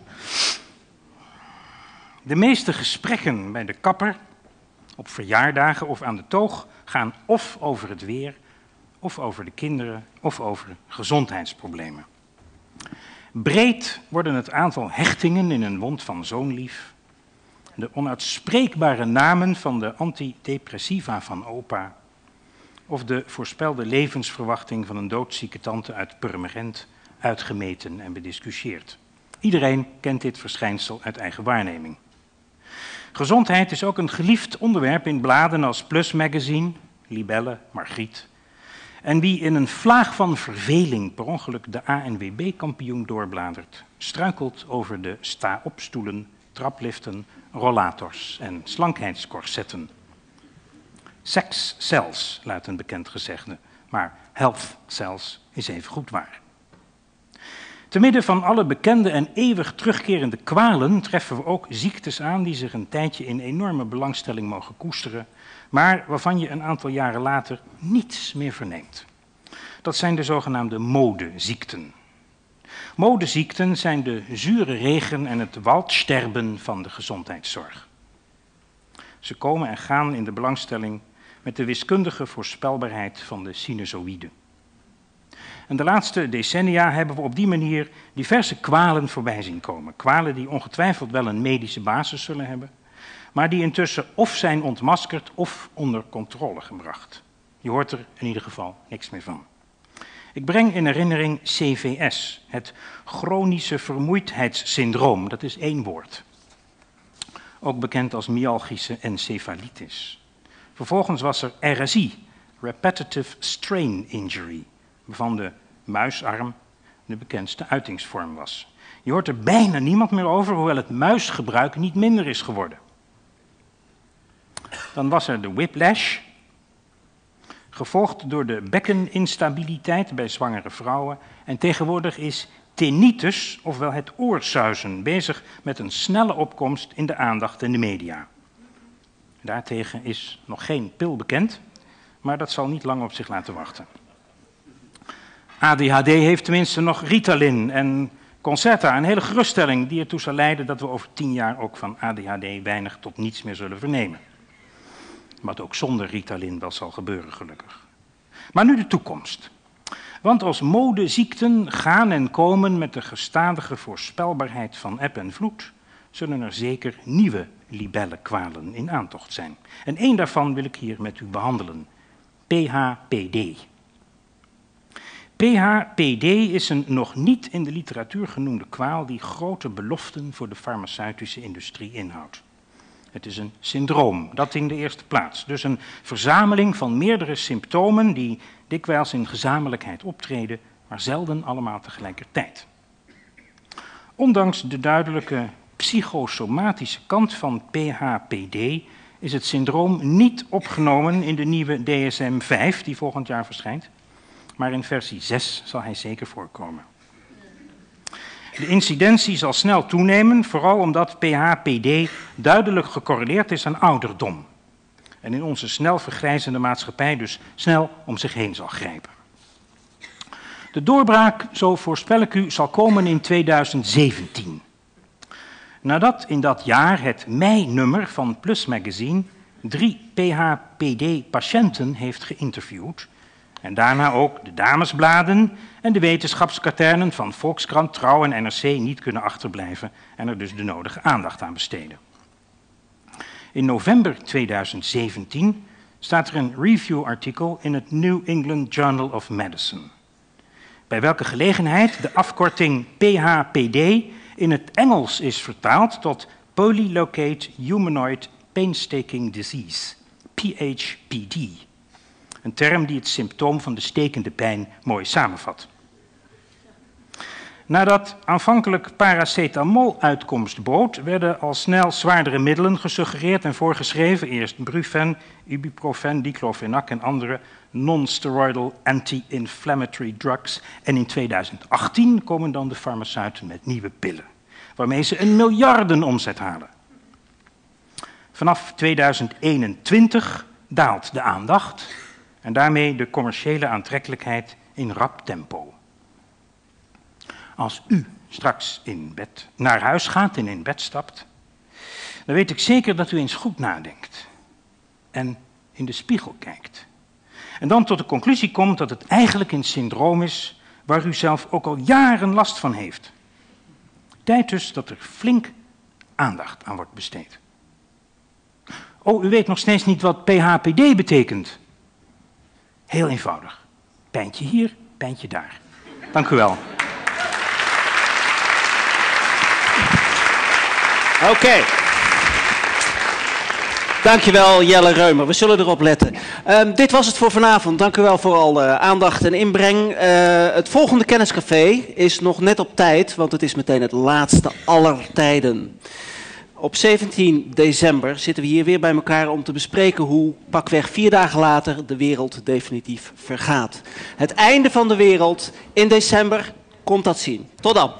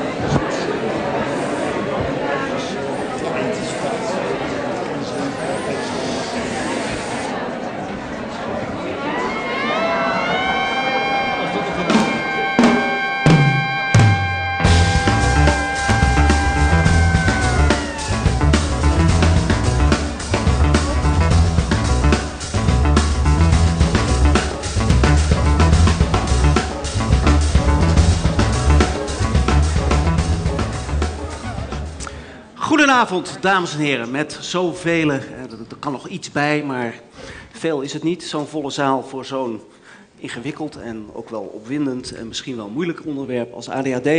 In ieder geval daarvoor alvast van harte welkom. En het wordt nogal veel mooier vanavond. Uh, het is uh, de derde maandag van de maand in november 2012. En dus de avond in de balie van het Kenniscafé. Um, avonden tussen wetenschap En publiek, dat bent u dus in dit geval, maar misschien zit er ook wel wetenschap in de zaal, dat weet je nooit van tevoren. In ieder geval hebben we een aantal mensen uitgenodigd die zeker de wetenschap zijn. Uh, en het gaat erom dat we elkaar uh, te spreken krijgen, zou je kunnen zeggen. Deze avonden van de Volkskrant, van de KNW, van Nemo en van de Bali, dit mooie gebouw, zijn elke maand te bezichtigen, te bezoeken en vooral te genieten, zou ik zeggen. Over genieten gesproken, normaal gesproken zit daar de bar. Maar u bent met zoveel dat dat een beetje lastig werd om althans ook nog een podium neer te zetten. Dus we hebben besloten, er is geen bar, u mag wel drinken. Natuurlijk mag u wel drinken, want het is een café. Dan loopt u de deur uit en aan de bar kunt u halen wat u wilt. En u mag het ook trouwens weer mee naar binnen brengen. Dat is natuurlijk de hele truc in dit verband. Uh, waar zijn wij? We zijn in de Bali, maar we zijn ook op internet, live. Er is een livestream, zoals eigenlijk bij al deze bijeenkomsten. Uh, dat heeft een paar gevolgen. U bent dus in beeld, dat sowieso. Als u iets wil zeggen, kunt u in beeld gebracht worden en op internet te zien zijn. Uh, wat daarbij handig is, is dat u ook eventjes wacht tot er een microfoon is. Dan kan de buitenwereld, en trouwens de zaal ook, nog horen wat u wil zeggen. Dat u iets wil zeggen, dat hoop ik van harte. En dat is ook de bedoeling van deze avond. Dus dat nadrukkelijk. Um, overigens blijft de microfoon altijd eigendom van degene die hem aanreikt. Dat even ter verduidelijking. Er zijn mensen die hem graag zelf willen hebben, maar dat gaat niet gebeuren. Um, u mag er wel hele zinnige dingen of belangrijke of uh, anderszins uh, uh, relevante zaken inroepen natuurlijk. Um, en wat wij eigenlijk het fijnst vinden is om niet statements te hebben, maar vragen. Vragen aan bijvoorbeeld de mensen hier die we als sprekers hebben uitgenodigd, maar misschien ook wel vragen onderling, wie weet. Praten, daar gaat het over. Um, we hebben een wat spijtige dienstmededeling. Daar moet ik even mee beginnen. Laura Badstra, die bij ons de inleiding zou doen, is ziek. Jammer. Ze is echt ziek. Ik zal u de details besparen, maar het heeft iets met vloeistoffen en zo te maken, dus daar gaan we het niet over hebben. Um, we hebben, goddank zou ik haar zeggen, uh, iemand anders bereid gevonden om in ieder geval op haar stoel te gaan zitten. Um, en dat is Jan Derksen. Um, hij uh, zal een deel van het programma te zien en te horen zijn. En daar zijn we ontzettend blij om. Ik kan helemaal niks zien, dus dankjewel Jan. Ik weet niet waar je bent. Dat betekent dat het programma iets anders in elkaar zit dan wij aanvankelijk hadden bedacht. Uh, we hebben gevraagd of Jan Buitelaar dadelijk de introductie gaat doen. Uh, daarna hebben we een uh, gesprek tussen Buitelaar en Derksen. Dat gaat over, laten we zeggen, de diagnose ADHD. Waar hebben we het eigenlijk over? Uh, daarna hebben we een gesprek op wat kleinere schaal, namelijk op een prachtige mooie witte kruk hier. Er staat al een kruisje, zelfs waar het moet.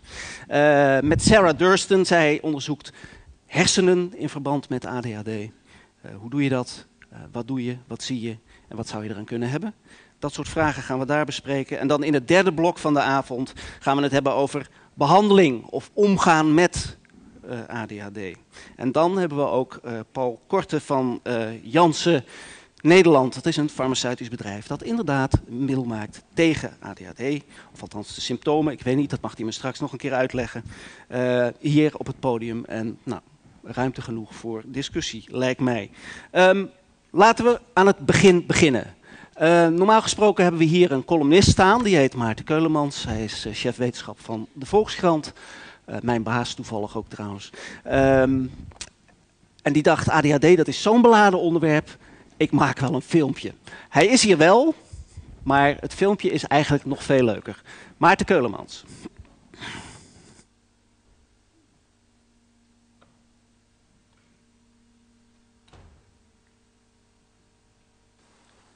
De geheimzinnige ziekte. In een land hier ver vandaan leefde eens een prinsje, Arthur. Een heel normaal prinsje, maar dat was alleen op het eerste. De geheimzinnige ziekte. In een land hier ver vandaan leefde eens een prinsje dat Arthur heette. Een heel normaal prinsje, maar dat was alleen op het eerste oog, want Arthur had een raar probleem. Overdag, als hij in de schoolbanken zat, begonnen zijn gedachten te dwalen. Dan droomde hij van de vogels in de bomen en hij droomde ervan om ooit koning te zijn met aan zijn zijde een wonderschone prinses. Arme Arthur. Al snel begonnen zijn schoolcijfers te dalen van al dat gedroom en begonnen zijn leraren te klagen. Arthur let nooit op, die Arthur zit maar wat te dromen.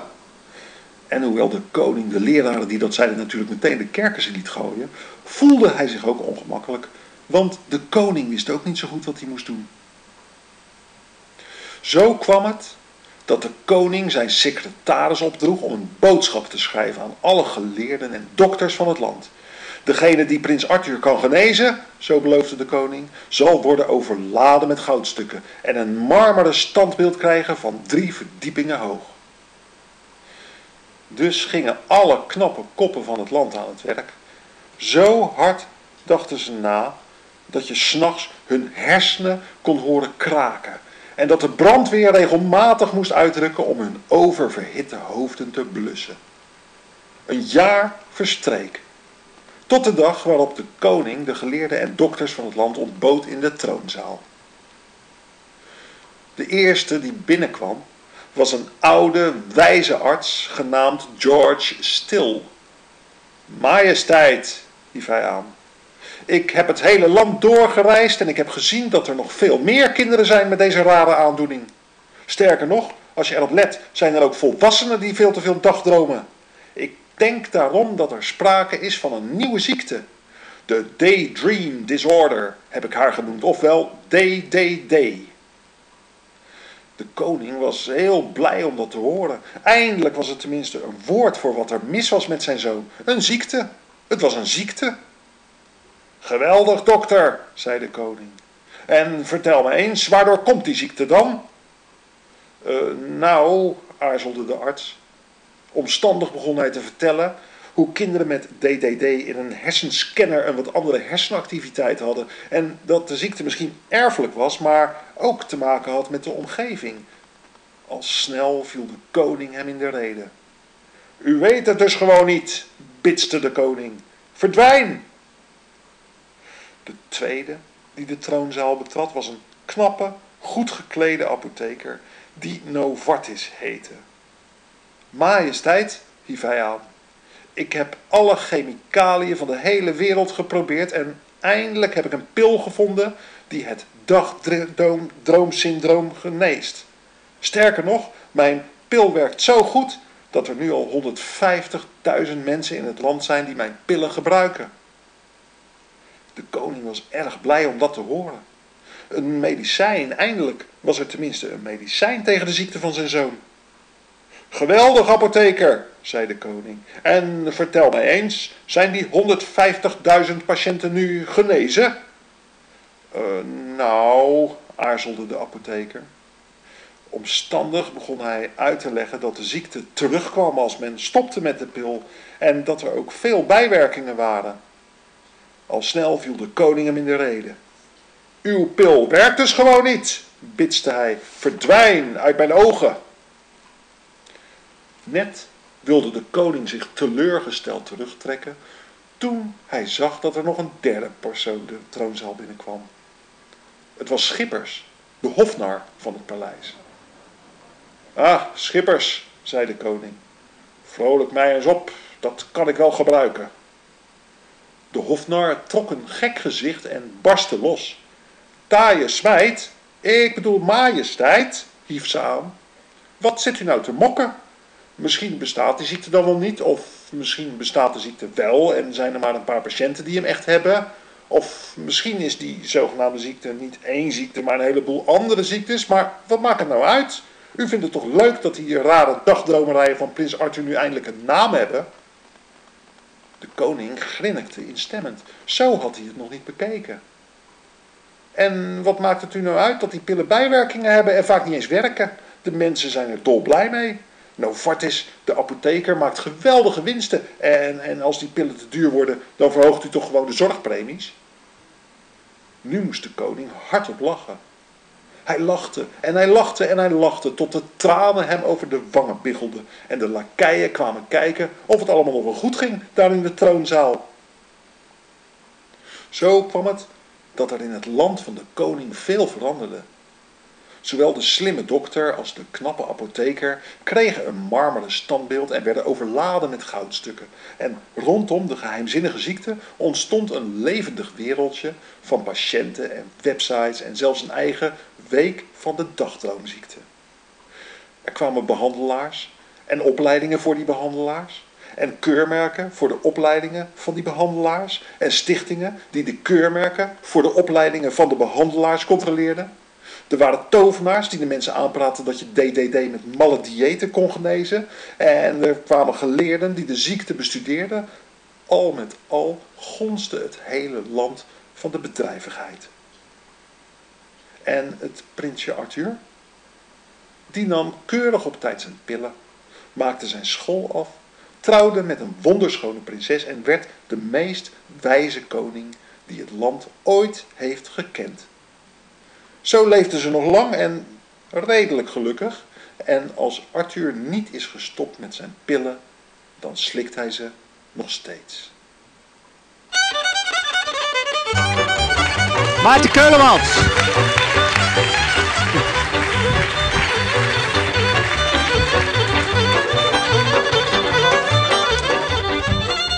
Dankjewel Maarten uh, voor vragen. Daar zit hij. Maar dat komt straks. Um, laten we beginnen. Uh, laten we echt beginnen. Uh, na zo'n prachtige inleiding schreeuwen we natuurlijk om hardere wetenschap dan we hier al gezien hebben. En ik wilde Jan Buitelaar vragen om aan te treden. Aantreden klinkt zo streng. ik sta ook veel te hoog, dat is niet gezellig, dus ik ga even naar beneden. Dag Jan, welkom, kinder- en jeugdpsychiater. Uh, Radboud Universiteit, Nijmegen uiteraard. Ook nog het Donders Instituut in Utrecht. Ja. Nee. Nee? Nijmegen. In Nijmegen? Nijmegen. Donders. Oh ja, dat is een ja. andere instituut. Ja, ja. kan gebeuren. Um, we hebben gevraagd om een inleiding te geven over ADHD. Um, dat is een nou ja, lastig onderwerp omdat er zoveel emoties zijn. Um, je houdt wel eens vaker zo'n praatje. Die emoties, vooral... zijn die belangrijk of niet? Nee, enorm belangrijk. Ja? Ja. Dus daar krijgen we ook dingen ja, over te horen? Ja, ja, Oké, okay, daar ben ik blij om. Um, dan zullen we straks kijken of het ook nog met de werkelijkheid hier in de zaal strookt. Dat is Jan altijd. Oké, okay, dankjewel. Um, ja, laten we even meteen met de emoties beginnen. Conflict of interest. Uh, anders word ik weer neergesabeld na afloop van... ja, je vertelt eigenlijk niet het hele verhaal. Goed. Um, het probleem is... ja, er zijn kinderen met concentratieproblemen, leerproblemen, uh, impulsiviteit, hyperactiviteit. Uh, een misvatting is dat die kinderen geen aardige kanten hebben. Kinderen met ADHD hebben ook andere eigenschappen. Dus vaak zie je dat in de beeldvorming het heel erg vereenvoudigd wordt en verengd wordt tot een kind met probleemgedrag. Alle behandelaren, alle dokters, psychologen enzovoort, die zullen erkennen dat je ook moet kijken wat er voor aardigs is, creatiefs, leuke kanten, en die zijn er volop. We weten dat ADHD gekenmerkt wordt door twee groepen symptomen. Concentratieproblemen, druk en hyperactief gedrag. Daar ga ik heel, heel niet veel verder op in. Maar het belangrijkste is dat die uh, problemen uh, langdurig moeten voorkomen. Vaak beginnen ze vroeg, soms voor het vierde en vijfde jaar, vaak voor het twaalfde jaar. In een enkel geval wordt het wel duidelijker tussen het twaalfde en het achttiende en komen eigenlijk meer problemen naar voren als men volwassen is. Dan kan je te maken hebben met volwassen ADHD. Maar het allerbelangrijkste is dus dat is niet iets van, nou ja, kinderen zijn druk uh, als het Sinterklaas wordt, of als ze jarig zijn, of als ze moe zijn. Het is een langdurig patroon. Het treedt op in meerdere situaties, hè, dus uh, op school, thuis, en de contacten met leeftijdsgenootjes. En het is dus als het ware veel meer een kenmerk van het kind dan van de omgeving. Een kind wat alleen dit soort gedragingen vertoont op school, dat doet inderdaad natuurlijk denken van zou er niet zijn, iets zijn, mis zijn in de klas met de leerkracht, een te moeilijke plaatsing op school. Iets wat zich alleen maar thuis afspeelt, doet natuurlijk denken aan zijn er geen gezinsproblemen. Dus dat zijn allerlei belangrijke dingen om naar te kijken. Het is niet een nieuw ziektebeeld. Uh, meneer Stil staat hier nog niet op, maar die zou in elk geval rond 1900 geplaatst moeten worden. Het heeft verschillende namen gekregen. Um, in 2013 krijgen we een nieuwe definitie volgend jaar in mei, die niet essentieel zal verschillen. Uh, maar uh, ondanks al die verschillende namen is het natuurlijk niet iets wat een uitvinding is van de laatste twintig jaar. Laat dat gewoon heel erg duidelijk zijn. Uh, er is wel een verschuiving opgetreden. En met name die verschuiving zo rond 1980, die geeft aan in de naam dat die attention deficit, dat die concentratieproblemen, toch eigenlijk wel als de kern gezien worden, meer dan het drukke en impulsieve gedrag. Ik uh, was mij gevraagd te vertellen hoe vaak komt het nou voor. Nou, laten we zeggen 5% all over the world. Dit is een samenvatting van onderzoek links dat zijn allerlei Amerikaanse studies, rechts zijn studies elders in de wereld. Je ziet enorme verschillen. Um, ik zie dat de, de, balk waar de prevalenties moeten zijn weggevallen is, maar daar gaat het ook eigenlijk niet om. Het belangrijkste is om te laten zien dat het verschillend is. Uh, uh, Oekraïne en India, ja, uh, in landen met lage SIS. En als je dan met vragenlijsten meet, krijg je hogere getallen. maar als je het middelt, kom je op zo'n 5 procent. Uh, en er zit Nederland ongeveer uh, in, in de mediaan, in het gemiddelde. Uh, en de belangrijkste boodschap is: het is dus echt niet alleen een Amerikaanse stoornis of een Amerikaans probleem wat wij geïmporteerd hebben. Je komt het voortdurend tegen. En die 5% is denk ik een hele mooie, een heel mooi getal. Ik wil eigenlijk twee stellingen zelf poneren. En met name deze eerste stelling, omdat wat mij opvalt, komen we eigenlijk bij de emoties terecht. Wat mij opvalt is dat de hele discussie over ADHD, over diagnostiek, over behandeling, vaak volkomen voorbij gaat en het feit dat we praten over een in principe heel lastig, heel pijnlijk probleem. Of een stoornis. Een probleem wat voor veel narigheid zorgt. Bij de persoon zelf, bij de familie, de ouders, de broers en zussen, uh, bij de leerkrachten en bij de maatschappij. Dat woord vind ik vaak veel te weinig uh, erkend. Het gaat alleen maar over allerlei randverschijnselen, zullen we het over hebben. Maar het is heel erg belangrijk dat dat probleem goed gediagnosticeerd wordt. En natuurlijk niet overmatig. En dat het goed behandeld wordt. En daar kunnen we over praten wat een goede behandeling is. Maar ik vind het jammer dat dit vaak vergeten wordt. En dat was ook het belangrijkste punt voor het stukje in medisch contact. Waarvan dan gezegd wordt van ja, buitelaar vindt dat er sprake is van onderdiagnostiek. Ik heb gezegd met Sander Kooi, er moet sprake zijn van adequate diagnostiek en het erkennen van de ernst van het ziektebeeld. Een tweede stelling, er is vernieuwend onderzoek nodig naar de behandeling. Want, waarom? Uh, omdat, omdat onze huidige inzichten in wat nou eigenlijk de oorzaken zijn, beperkt zijn. We hebben een beeld en uh, nou, de koning kreeg ook een beeld en de koning kreeg een verwarrend beeld. Misschien kunnen we het een beetje ophelderen vanavond, misschien ook niet. Ik hoop in elk geval niet dat de meesten van jullie verwarrend naar huis gaan. Verwarrend naar huis gaan. Maar ik denk dat het belangrijkste is, we hebben een aantal hele goede behandelingen. Maar of ze goed genoeg zijn, is de vraag. Of ze echt de kinderen genezen, de mensen genezen en de langetermijnprognose verbeteren, daar twijfel ik zelf aan. dat betekent dat we goede behandelingen hebben, maar het moet beter kunnen. En dat is volgens mij een veel betere insteek dan uh, allerlei randverschijnselen ook over medicatie enorm uitvergroten. Dit is wat er voortdurend gebeurt in de media. Farmaceutische kengetallen lanceren elk jaar een alarmerend bericht. Medicatiegebruik neemt maar toe en neemt maar toe. En de staatssecretaris zegt: laat die kinderen rustig spelen. Ga eens aansluiten op het speelveldje. Er moet meer gepraat worden, er moet meer gespeeld worden. Uh, volwassenen, steeds meer diagnoses.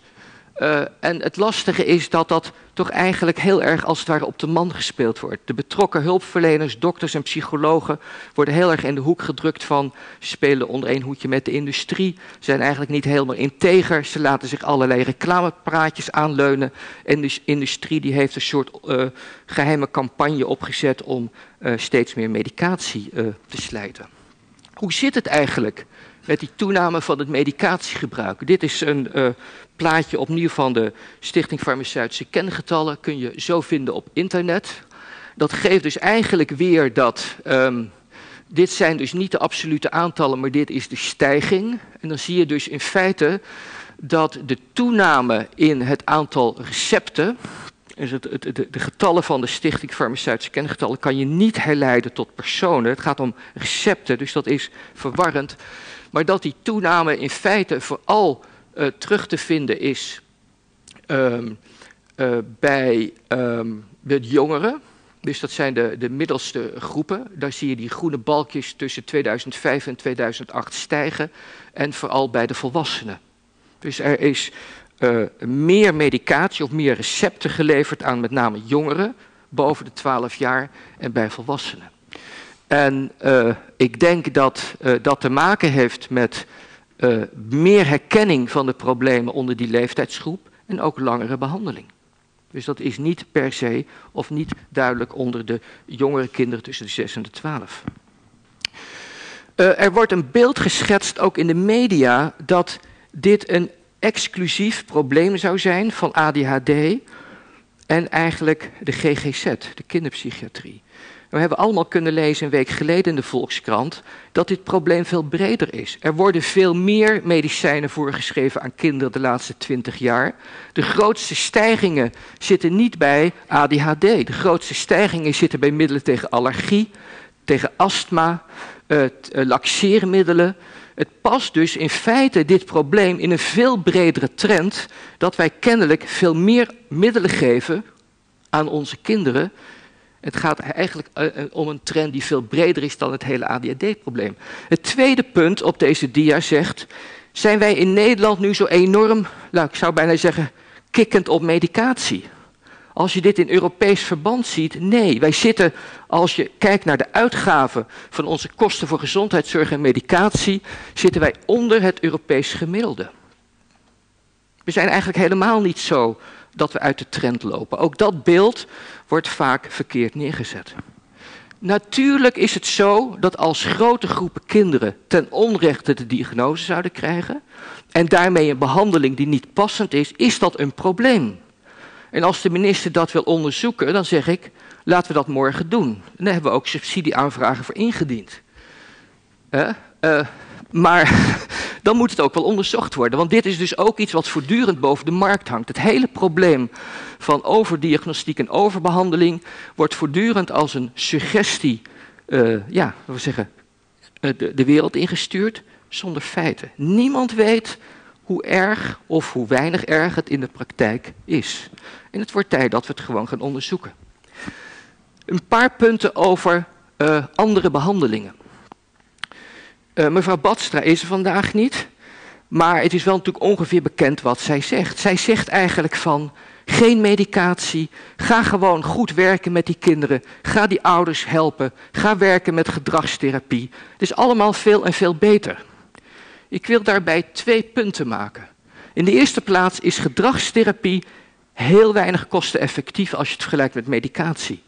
Dit zijn resultaten van een Amerikaans onderzoek uh, een heel groot onderzoek onder 600 kinderen. Je ziet in feite in deze grafiek dat de kosten van gedragstherapie heel snel oplopen met weinig toegevoegde waarde. En je ziet eigenlijk dat de kosten van medicatie, dat is dit, dit stukje van de grafiek, dat de kosten weinig oplopen en dat je dus heel snel toegevoegde waarde hebt. Of dat voor de toegevoegde, dat je dus weinig extra kosten hebt en veel toegevoegde waarde. Dus het is veel, veel kosteneffectiever om medicatie te geven. Daarmee wil ik niet zeggen dat als je geen gedragstherapie, dat je dat niet moet doen.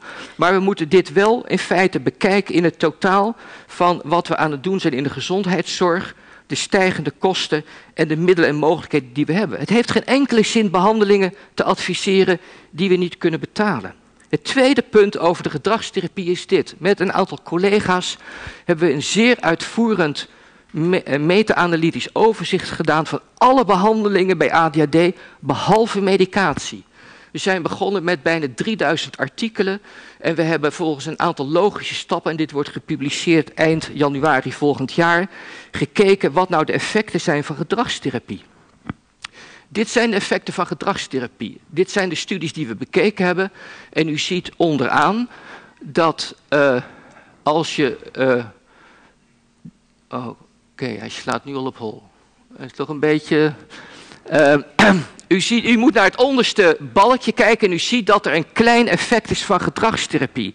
Als je echt de rekening houdt met het feit dat die gedragstherapiebehandelingen allemaal uh, beoordeeld zijn door ouders die zelf wisten dat hun kind die behandeling kreeg, logisch, maar dus zogenaamde niet-blinde beoordelaars, en je houdt daar rekening mee, dan blijft er eigenlijk van het significante effect van gedragstherapie niets over.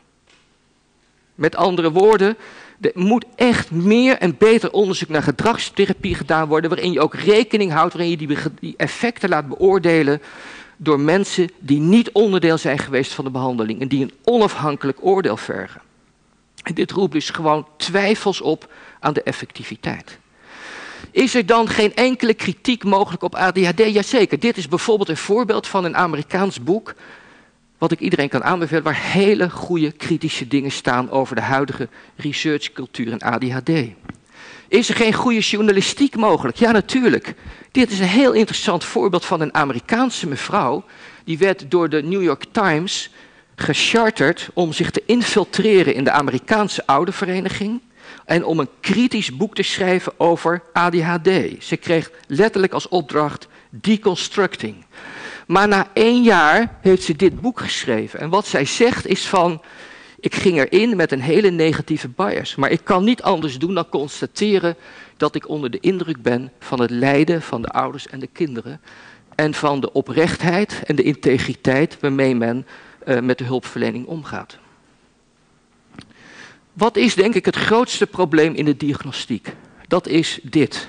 Dat is de vraag, waar ligt nu eigenlijk het afkappunt tussen normaal en abnormaal? En het probleem is dat ADHD in feite, en dat blijkt steeds meer uit onderzoek, een dimensie is. het is net als met lengte en gewicht. En wanneer is iemand te lang? Nou, je kan zeggen, als hij bij mij thuis niet door de deur kan zonder zijn hoofd te stoten. Dat is een hele simpele definitie. Dan is hij impaired, dan heeft hij gewoon last van zijn lengte. Was hij zo lang is dat hij geen normale kleren meer kan kopen. Maar er is natuurlijk geen a priori, of wanneer hij gezondheidsklachten krijgt door zijn lengte. Wanneer heeft iemand hypertensie? Dat, dat, is eigenlijk ook zo'n functioneel syndroom, net als ADHD. Dan zeg je van ja, op een gegeven moment heeft iemand zo'n hoge bloeddruk. Hij krijgt hoofdpijn, hij krijgt hartklachten, zijn vaatwanden die worden uh, minder elastisch. Hij gaat dus eigenlijk gezondheidsschade opleveren. Nou, dat is eigenlijk denk ik het principe bij ADHD. Uh, met andere woorden, je, kun, je kan een, een, een, niveau bereiken waarop je zegt, ja, ergens daar rechts in die grafiek, daar moet je een afgrenzing maken. Maar inderdaad, inderdaad, dat is niet als het ware terug te vinden in de natuur. Dat is een afspraak. En dat is, daar, daar bestaan sociale normen voor, daar bestaan culturele normen voor. Je kan statistische normen pakken. En, en de huidige uh, trend in de, het klassificatiesysteem is om dat uh, als het ware te doen op basis van impairment of functioneren. Dus wanneer er dusdanige symptomen zijn van druk, hyperactief en inattent gedrag, dat men dysfunctioneert, dat men vastloopt in het functioneren. Daar is eigenlijk, eigenlijk helemaal niks mis mee. Vergelijkbaar met hypertensie en allerlei andere problemen. Sarah Durston kan dit uh, veel beter uitleggen, maar we kunnen, we kunnen naar de hersenen kijken. En ik laat dit alleen maar zien om de overgang te maken naar dit plaatje. Want ADHD en ook opnieuw, uh, in debat met Badstra die, die thuis is, maar ADHD is natuurlijk meer dan een gedragsdiagnose. Er staan, bestaan heel veel gegevens die, die, die, aan, die uh, dit aantonen. Dat met andere woorden, als je kijkt naar kinderen die niet druk zijn, en een klein beetje druk en meer drukker en superdruk, dan zie je dat ze steeds meer biologische afwijkingen gaan vertonen. Bijvoorbeeld verschillen in dikte van de hersenschors, verschillen in volume van de hersenen, afwijkingen op allerlei cognitieve testen. Met andere woorden, het is wel degelijk een syndroom met een biologische onderbouwing. Er wordt heel veel desinformatie verspreid over de medicatie. Uh, ik ga dit niet uitvoerig bespreken, maar er is een uitvoerig overzicht uh, verschenen over uh, wat nou eigenlijk bekend is over de lange effecten van medicatie, hoe je daarmee kan omgaan en wat er niet bekend is en wat onderzocht moet worden. En we hebben ook een overzicht geschreven over uh, wat is nou bekend over de lange termijn werkzaamheid. Daar kunnen we wellicht bij de discussie verder op ingaan. Maar in grote lijnen is het zo dat de, de veiligheid van uh, medicatie bij ADHD zeer, zeer goed is aangetoond. Natuurlijk kunnen de bijwerkingen optreden. Uh, maar eigenlijk is geen enkele reden voor paniek of uh, grote alarmbellen als het gaat om gevaarlijke of zeer lastige bijwerkingen. En datzelfde geldt voor de langetermijnbehandeling. Wat we weten is dat de langetermijnbehandeling in zeer veel gevallen uh, tot, tot, tot nou, vijf, acht en meer jaren succesvol wordt voortgezet.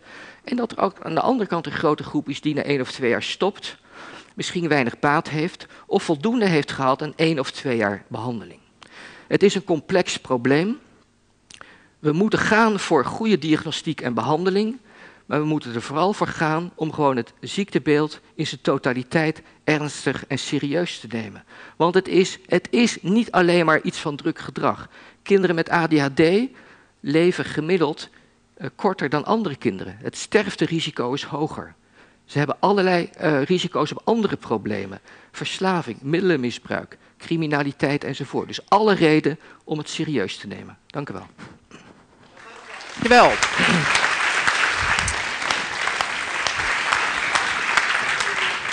Um, dankjewel. Ik, uh, voordat we er verder uh, echt over in discussie gaan, zou ik uh, willen vragen: zijn er opmerkingen of vragen?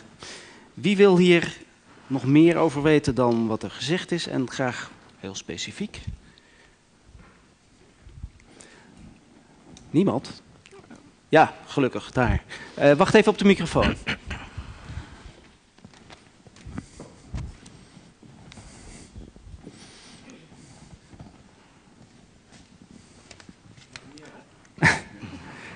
Ja, het, het, anders horen we echt niks. Dus. Oké. Okay. Dag meneer Buitenlaar. Uh, ik had, u liet een stukje zien, een schema met een groene balk en een bruine balk. Waarin u dus stijging liet zien hè, van recepten. Mm -hmm. En u concludeerde eruit dat de jongeren boven de 12 en de wat oudere mensen groeiden. Ik las daar iets heel anders. Kunt u dat nog een keer bekijken? Nou, hij staat bij mij voor, maar de, misschien moet de regie even overschakelen op de beamer, op mijn laptop. Ja. Dus als ik naar de groei kijk van recepten, dan zie ik bij 2130 en 4150 de groei van tussen 2005 en 2008. Klopt dat? Ja, maar het gaat dus toch vooral om, om oudere leeftijden. Dat is wat ik zei.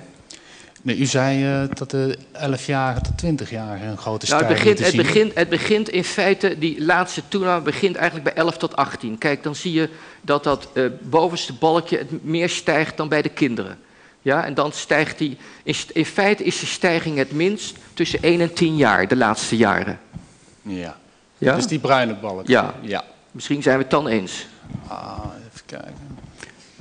Nou, ik zie toch de grootste stijging ook in de bruine balk bij de categorie 21 tot 30, 41 tot 50. Ja, ja, maar dat is toch allemaal boven de, uh, boven de 21 maar, jaar? Voor, voordat we alle Neem dat u, de, de, de de, de, kinderen van 11 tot 20, de jonge mensen had u het over. Dus ik dacht, ik heb het verkeerd begrepen of ik, u had het verkeerd gezien. Dat uh, mag uh, de stream straks uitwijzen. Nou, ik dacht, ik vereenvoudig het een beetje. Maar, maar was, niet, was niet de intentie van die opmerking vooral om te zeggen, het ja. gaat niet om de jonge exact, kinderen? Exact, ja.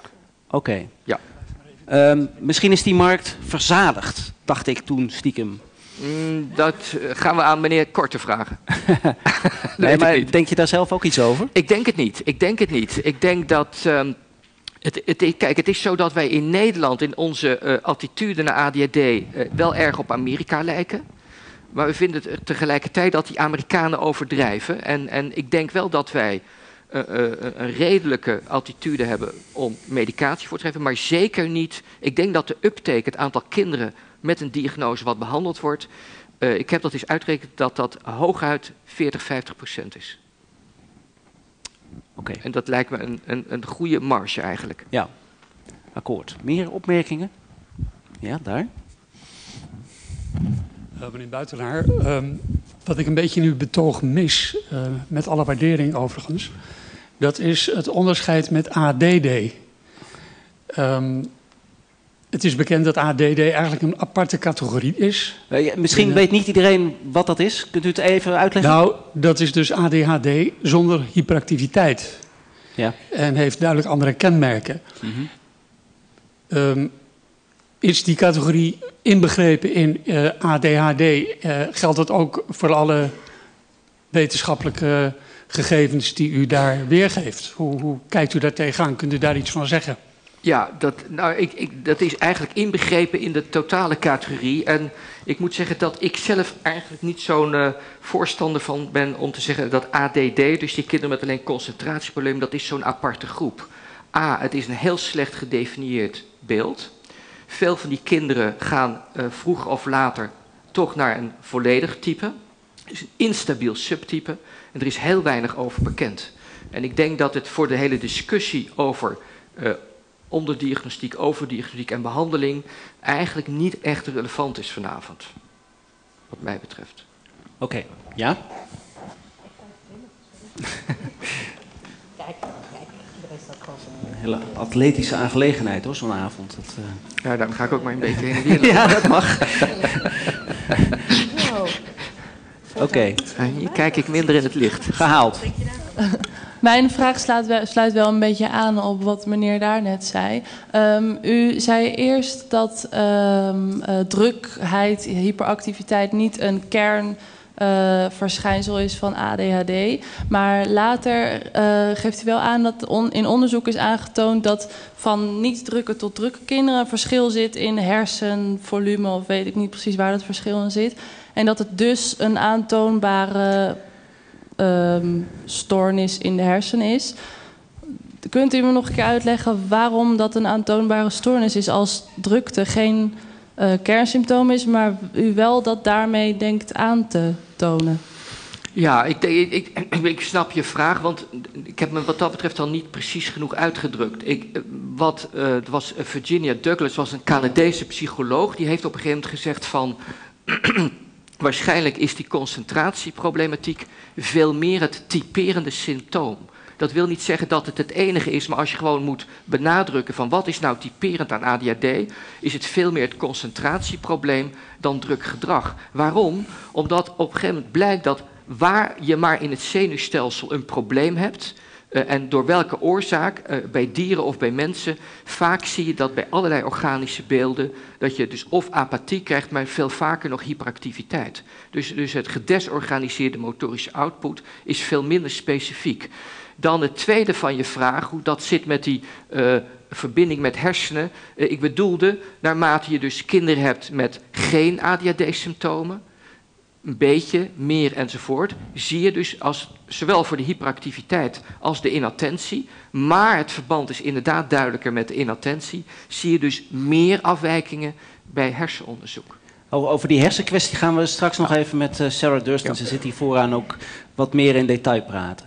Misschien dat het daar nog uh, aan de orde komt ook. Toch, Sarah? Oké, okay. ja, we hebben een toezegging. Oké, okay, zijn er nog meer vragen? Ja. Ja, um, ik begreep net dat u zei dat uh, uiteindelijk altijd hyperactiviteit ook aan de stoornis toegevoegd wordt. Alleen, uh, ik heb in ander onderzoek, ik kan, sorry, ik kan geen namen, weet ik niet uit mijn hoofd, maar dat hyperactiviteit juist een kenmerk is wat afneemt.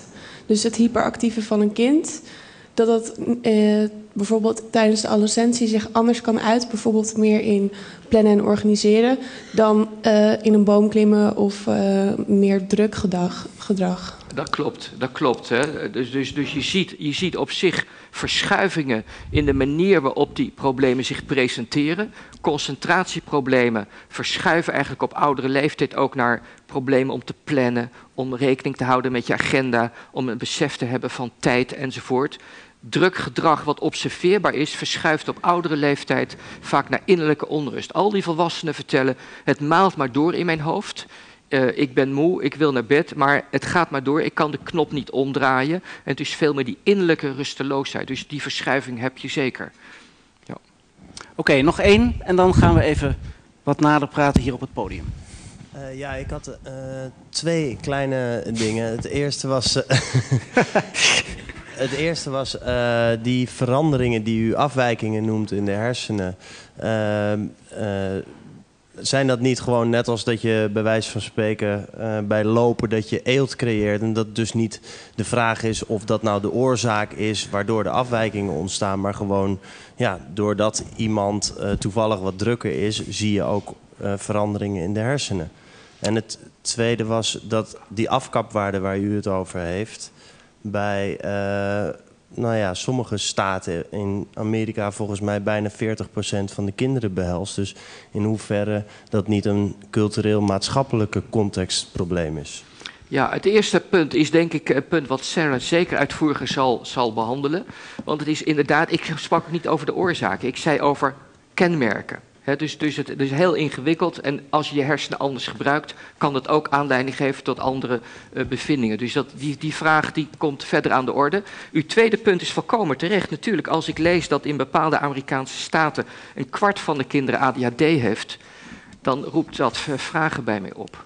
En, en, dat bedoel ik ook met, we moeten uiteraard gaan voor adequate diagnostiek. En als blijkt dat, dat, uh, uh, ja, dat men de afkapwaarde totaal verschillend heeft, of dat ouders of leerkrachten uh, veel te liberaal daarmee omgaan, of kinderartsen, dan is dat een groot probleem. Helemaal mee eens. Oké, helder. Goed, dank zover. Um, zoek een stoel. Er zijn er drie. En de spreker mag altijd kiezen. Soms hebben we een Chesterfield hier staan, maar die zou hier niet meer bijpassen. Dus helaas is het een stoel. En verder wilde ik vragen of uh, Jan Derksen ook uh, zou willen aanschuiven. Jan Derksen is uh, klinisch psycholoog. Ook al van de Radboud Universiteit. We hebben een Nijmeegs onder onsje. En we hebben ook, zei iemand terecht, alleen maar Janne uit Nijmegen. Maar goed, dat. hè? Oh, hemel. ik ben zo enthousiast, weet u. Ik vergeet iets. Maar blijf rustig zitten. Um, we hebben namelijk iets, ja, toch wel tamelijk spectaculairs. Uh, dat niet. Dit is uh, Katlijne. En Katlijne uh, is een van onze redactieleden. En zij zal u even laten zien hoe het aan de binnenkant van iemands hoofd uitziet. Katelijne. Nou, dat, dat weet ik niet helemaal. Maar... Um... Nemo, zoals jullie weten, dankjewel Martijn, die doet elke maand een, uh, een klein proefje. En ik heb een vrijwilliger nodig. Die durft. Het is niet eng, het is niet invasief. Je krijgt heel veel respect. Kijk, kijk, heel fijn. Um, je krijgt iets op je hoofd. Het, dit dit heet een nekomimi. Dat is Japans voor kattenoren. Nou, je snapt waarom. Ik ga hem even opdoen, moment.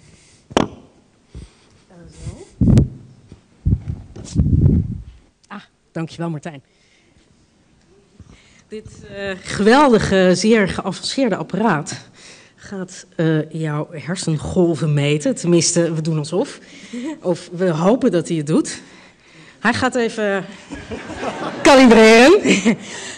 uh, als je naar dit plaatje kijkt, dan zie je dat hij al naar gelang de, de, je, je staat, of je heel ontspannen bent of heel alert, doet hij iets. Nou, je bent best ontspannen, dat vind ik heel knap. hij is nog even aan het. Ja, ik weet het niet helemaal wat hij doet. We gaan een paar kleine proefjes met je doen. Als je even met mij uh, naar, het groot, naar het grote scherm wil kijken, dan uh, mag Tessa het volgende plaatje opzetten. Een collega van mij die werd heel erg ontspannen van het kijken naar, naar een baby. Maar ja, ik zie hem nog niet helemaal bij jou. Word je ontspannen van, van, van baby's? Ik word er vooral vrolijk van. Oké, okay. heel goed. Ik zie weinig verandering. Maar we gaan nog iets anders proberen. We hebben ook nog een sommetje. Je hoeft het antwoord niet te zeggen, maar ik denk dat jij dat wel kan trouwens. Misschien uh, is het, uh, niet direct. Ik ben niet zo goed in hoofdrekenen, maar het maakt me niet bang of zo. Het doet me vooral denken aan het college. Ja. Ja, je bent in ieder geval heel alert en je bent ook wel een soort van ontspannen, zegt hij. Ik weet het nog niet helemaal. Uh, we gaan nog iets proberen. Ik heb ook nog een stukje muziek. Uh, je mag weer fijn naar de zaal kijken, gewoon. Dus even kijken. Stukje muziek, techniek.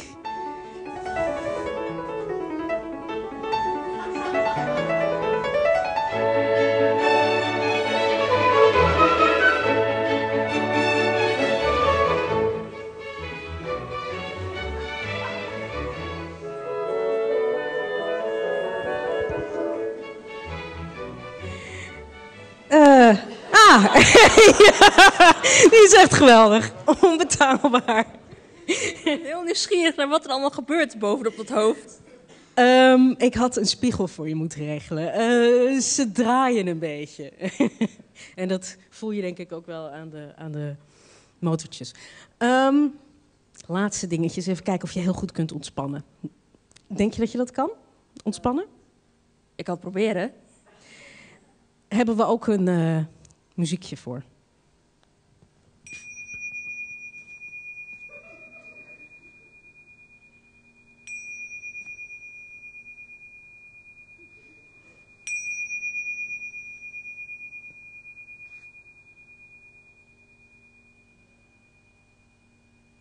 Neem je meditatiehouding aan. Een houding waarbij je comfortabel zit en toch rechtop. Sterke rug, open schouders, hoofd losjes en recht. Je zit geaard, stevig, in contact met de grond. Yes! Dankjewel. Ja.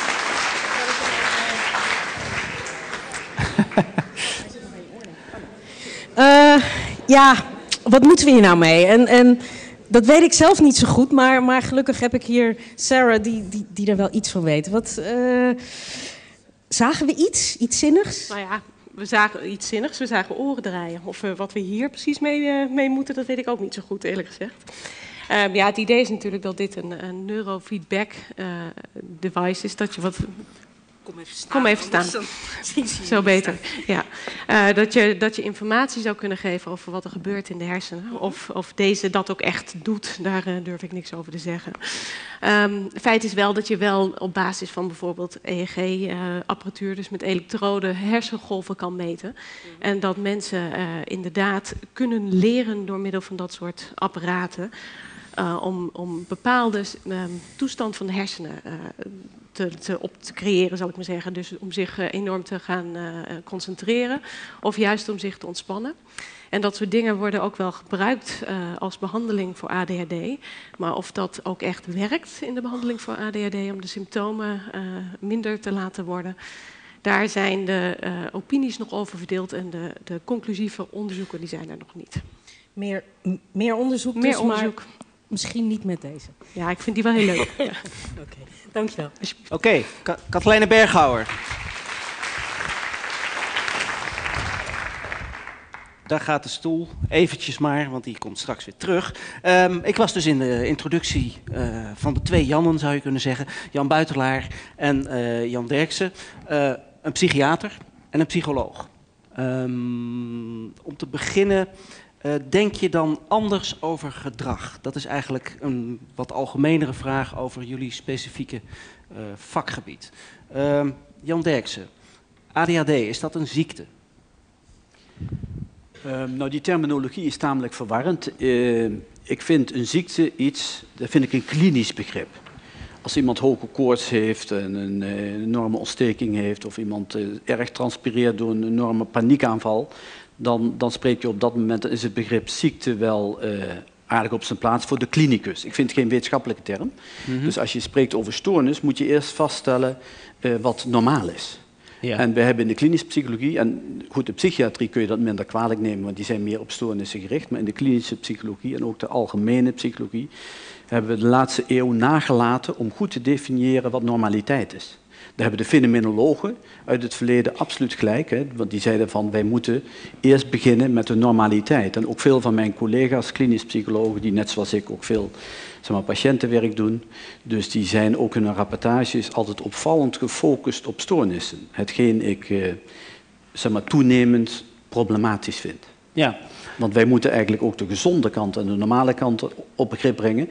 En je kunt pas van stoornis spreken als je weet wanneer het normaal is. Oké. Okay. Vanuit dat perspectief gekeken naar het verhaal van Jan Buitelaar, die, die schetst er is een probleem. Dat verhaal, woord is veel voorgekomen in, uh, in de voordracht die we zojuist uh, hoorden. Um, hoe, hoe verhoudt zich dat tot het idee normaliteit is ook niet echt helder? Uh, mag ik er eerst nog iets anders over zeggen? Graag. Kijk, wat we nu net ook zagen, hè? Wij leven in het breintijdperk. Hè? Dus nu ging het ook onmiddellijk over de hersenen met deze kleine oefening. Ja. Uh, Jan uh, die heeft gesproken over ADHD en dat doet hij heel degelijk. Maar wat erin opvalt, er ontbreekt iets. Oh hemel. Er ontbreekt iets. Het gaat, als het gaat Zullen over... even... Jan, weet je wat er ontbreekt? Eh, Ik kan wel Jans gedachtegang eh, een beetje voorspellen. Het wordt wel heel schizofreen nu natuurlijk. Hij gaat vermoedelijk iets vertellen over de omgeving en de ouders en hechting en psychologische Oké, stop. constructen. Klopt dat? Ja, nu gooit Jan het eh, tamelijk onwetenschappelijk allemaal op één hoop. Omgeving en ouders en hechting. Nee. Maar wat wil je zeggen? Wat ontbreekt? Wat er ontbreekt. Hè, een derde van onze kinderen zijn door de eeuwen heen al temperamentsvol geweest. Hè. En in de vroegkinderlijke ontwikkeling leren ouders nog steeds heel slecht om om te gaan met temperamentsvolle kinderen. Ouders krijgen op het zuigelingenbureau wel van alles te horen over voeding en, eh, hoe, en, en de baby krijgt allerlei prikken om virussen tegen te gaan, allemaal prima. Maar wat er niet gebeurt in onze samenleving, terwijl die kennis er wel is, ze krijgen geen informatie over de leerprincipes. In de psychologie hebben we zeg maar, al lang geleden goud ontdekt, namelijk leerprincipes die, waarmee we ge- conditioneringsgedrag zeg maar, zijn gaan begrijpen. Wat er ontbreekt in onze opvoeding, ook met name in de vroegkinderlijke opvoeding, dus hebben we nog niet eens over de hechting, maar zijn dat ouders leren inzien hoe gedrag geconditioneerd wordt en hoe, dat, zeg maar, hoe je dat dus ook kunt beïnvloeden door kennis van die leerprincipes. Kort samengevat, we begrijpen onze kinderen niet? Als je dat zou doen, hè, als je daar adequaat mee zou werken, zou je in mijn ogen veel minder ADHD-achtig gestoord gedrag krijgen. Dus nu wordt er behandeld en dan wordt er in het onderzoek, ook door Sarah, het accent gelegd op de hersenen als determinant en de psychische patronen en processen als determinant ontbreken in die verhalen. Sarah is ook psycholoog van huis uit, maar in haar onderzoek is ze bioloog. Jan is psychiater. Ik snap dat hij heel graag de medische kant ervan pakken. Veel te veel psychologen zijn verdwaald, zijn de weg kwijt en zoeken, zeg maar, passend in deze tijd, het goud voor dit soort eh, beelden in de hersenen. Terwijl dat niet kan. Dat is een denkfout. Omdat je nooit alleen maar oorzaken in de hersenen vindt. Je hebt bij ADHD, maar dat geldt ook voor depressies en verslavingen, voor ernstige beelden, is er een samenspel van biologische, psychische en sociale factoren. Als je zeg maar zeven hoog in een flat woont en de kinderen gaan niet, eh, komen veel te weinig buiten, dan liggen er sociale determinanten voor druk gedrag. Er liggen dus die psychische factoren in micropsychologische processen, ook in de hechting, maar ook in het omgaan van de ouders met temperamentsvolle kinderen. En daar, merkwaardig genoeg in deze tijd, ligt daar het accent niet op in het onderzoek. En Ja. daar ligt het accent ook in de behandeling niet op. Dus wij zijn blind aan het worden Ja, voor de heel- dat is- psychologische maar dat is- bijdrage. Dat is echt niet waar wat je zegt. Kijk, het, het behandelbeleid volgens alle richtlijnen beneden zes jaar is beginnen met eh, ouders te ondersteunen, ouderscursussen aan te bieden, gedragstherapeutische oudertraining en allerlei vormen meer. En, en eh, dat is wereldwijd en zeker ook in Nederland de, de, de, de, de, de vorm om daarmee te werken. Dus je gaat juist altijd beginnen ouders te wijzen op eh, wat is een slimme, wat is een handige opvoeding. Je gaat ouders bijspijkeren, daar begint het mee. Maar En- zegt Derksen dan niet misschien dat het het, daarvoor al misgegaan is? Eh, het, het, het probleem is dat dat eh, eh, maar in een deel van de gevallen succesvol is. Mhm. En dat dat vaak ondersteuning behoeft met medicatie. Maar nog wat veel belangrijker is, want kijk, als we het dan toch hebben van om de dingen goed helder te zeggen. Het is niet zo dat ik de oorzaak in de hersenen zoek. Bij oorzaken bedoel ik altijd erfelijke aanleg en omgeving. En waar het om gaat is dat grosso modo bij de meeste kinderen die erfelijke aanleg heel belangrijk is. Daar spelen natuurlijk omgevingsfactoren een rol. Eh, dat kan zijn opvoeding, dat kan zijn ouderlijke psychopathologie, dat kan zijn slechte omstandigheden in de wijk, dat kan zijn stedelijk milieu, dat kan zijn gebrek aan speel. Dat, dat zijn allerlei oorzaken. Mhm. En natuurlijk gaan behandelaren daarop inzoomen. Natuurlijk gaan behandelaren daar dingen mee doen. Die gaan daar ook iets mee doen. Maar dat, is, eh, dat draagt zeker bij eh, tot de behandeling. Maar de, de omgeving is zelden de hoofdoorzaak van het ADHD-gebeuren. En, en die de- analyse is natuurlijk heel interessant, maar het doet niks af aan de discussie over overdiagnostiek en overbehandeling. Zelden de oorzaak van. De term omgeving is eh, onjuist gekozen. Nee, de omgeving De- is alles nee, wat niet nee, in Jan, het laat me DNA zit, uit- Jan. Nee, Jan- Jan, dat is Jan- gewoon Jan, zo. ik laat jou even uit. Wat verstaan we onder Ik heb jou ook uit laten praten. Oké. ik, ik heb jou ook uit laten praten. Dus de omgeving en het genetisch materiaal kun je niet scheiden. In werkelijkheid zijn mensen het product van biologische, psychische en sociale processen op een manier waar we nog heel weinig van begrijpen. En als je het uiteen begint te leggen met genen en omgeving, maak je al een denkfout. En dan zie je niet eens meer dat die omgeving van een kind een vroege hechting is aan een ouderfiguur. En dat die hechtingsprocessen, zeg maar, genen aan- en uitzetten. En dat die hechtingsprocessen al in de vroege kindertijd uh, zeg maar, de frontale, het frontale brein vormen. De orbitofrontale cortex rijpt uit op bewegingen die de moeder maakt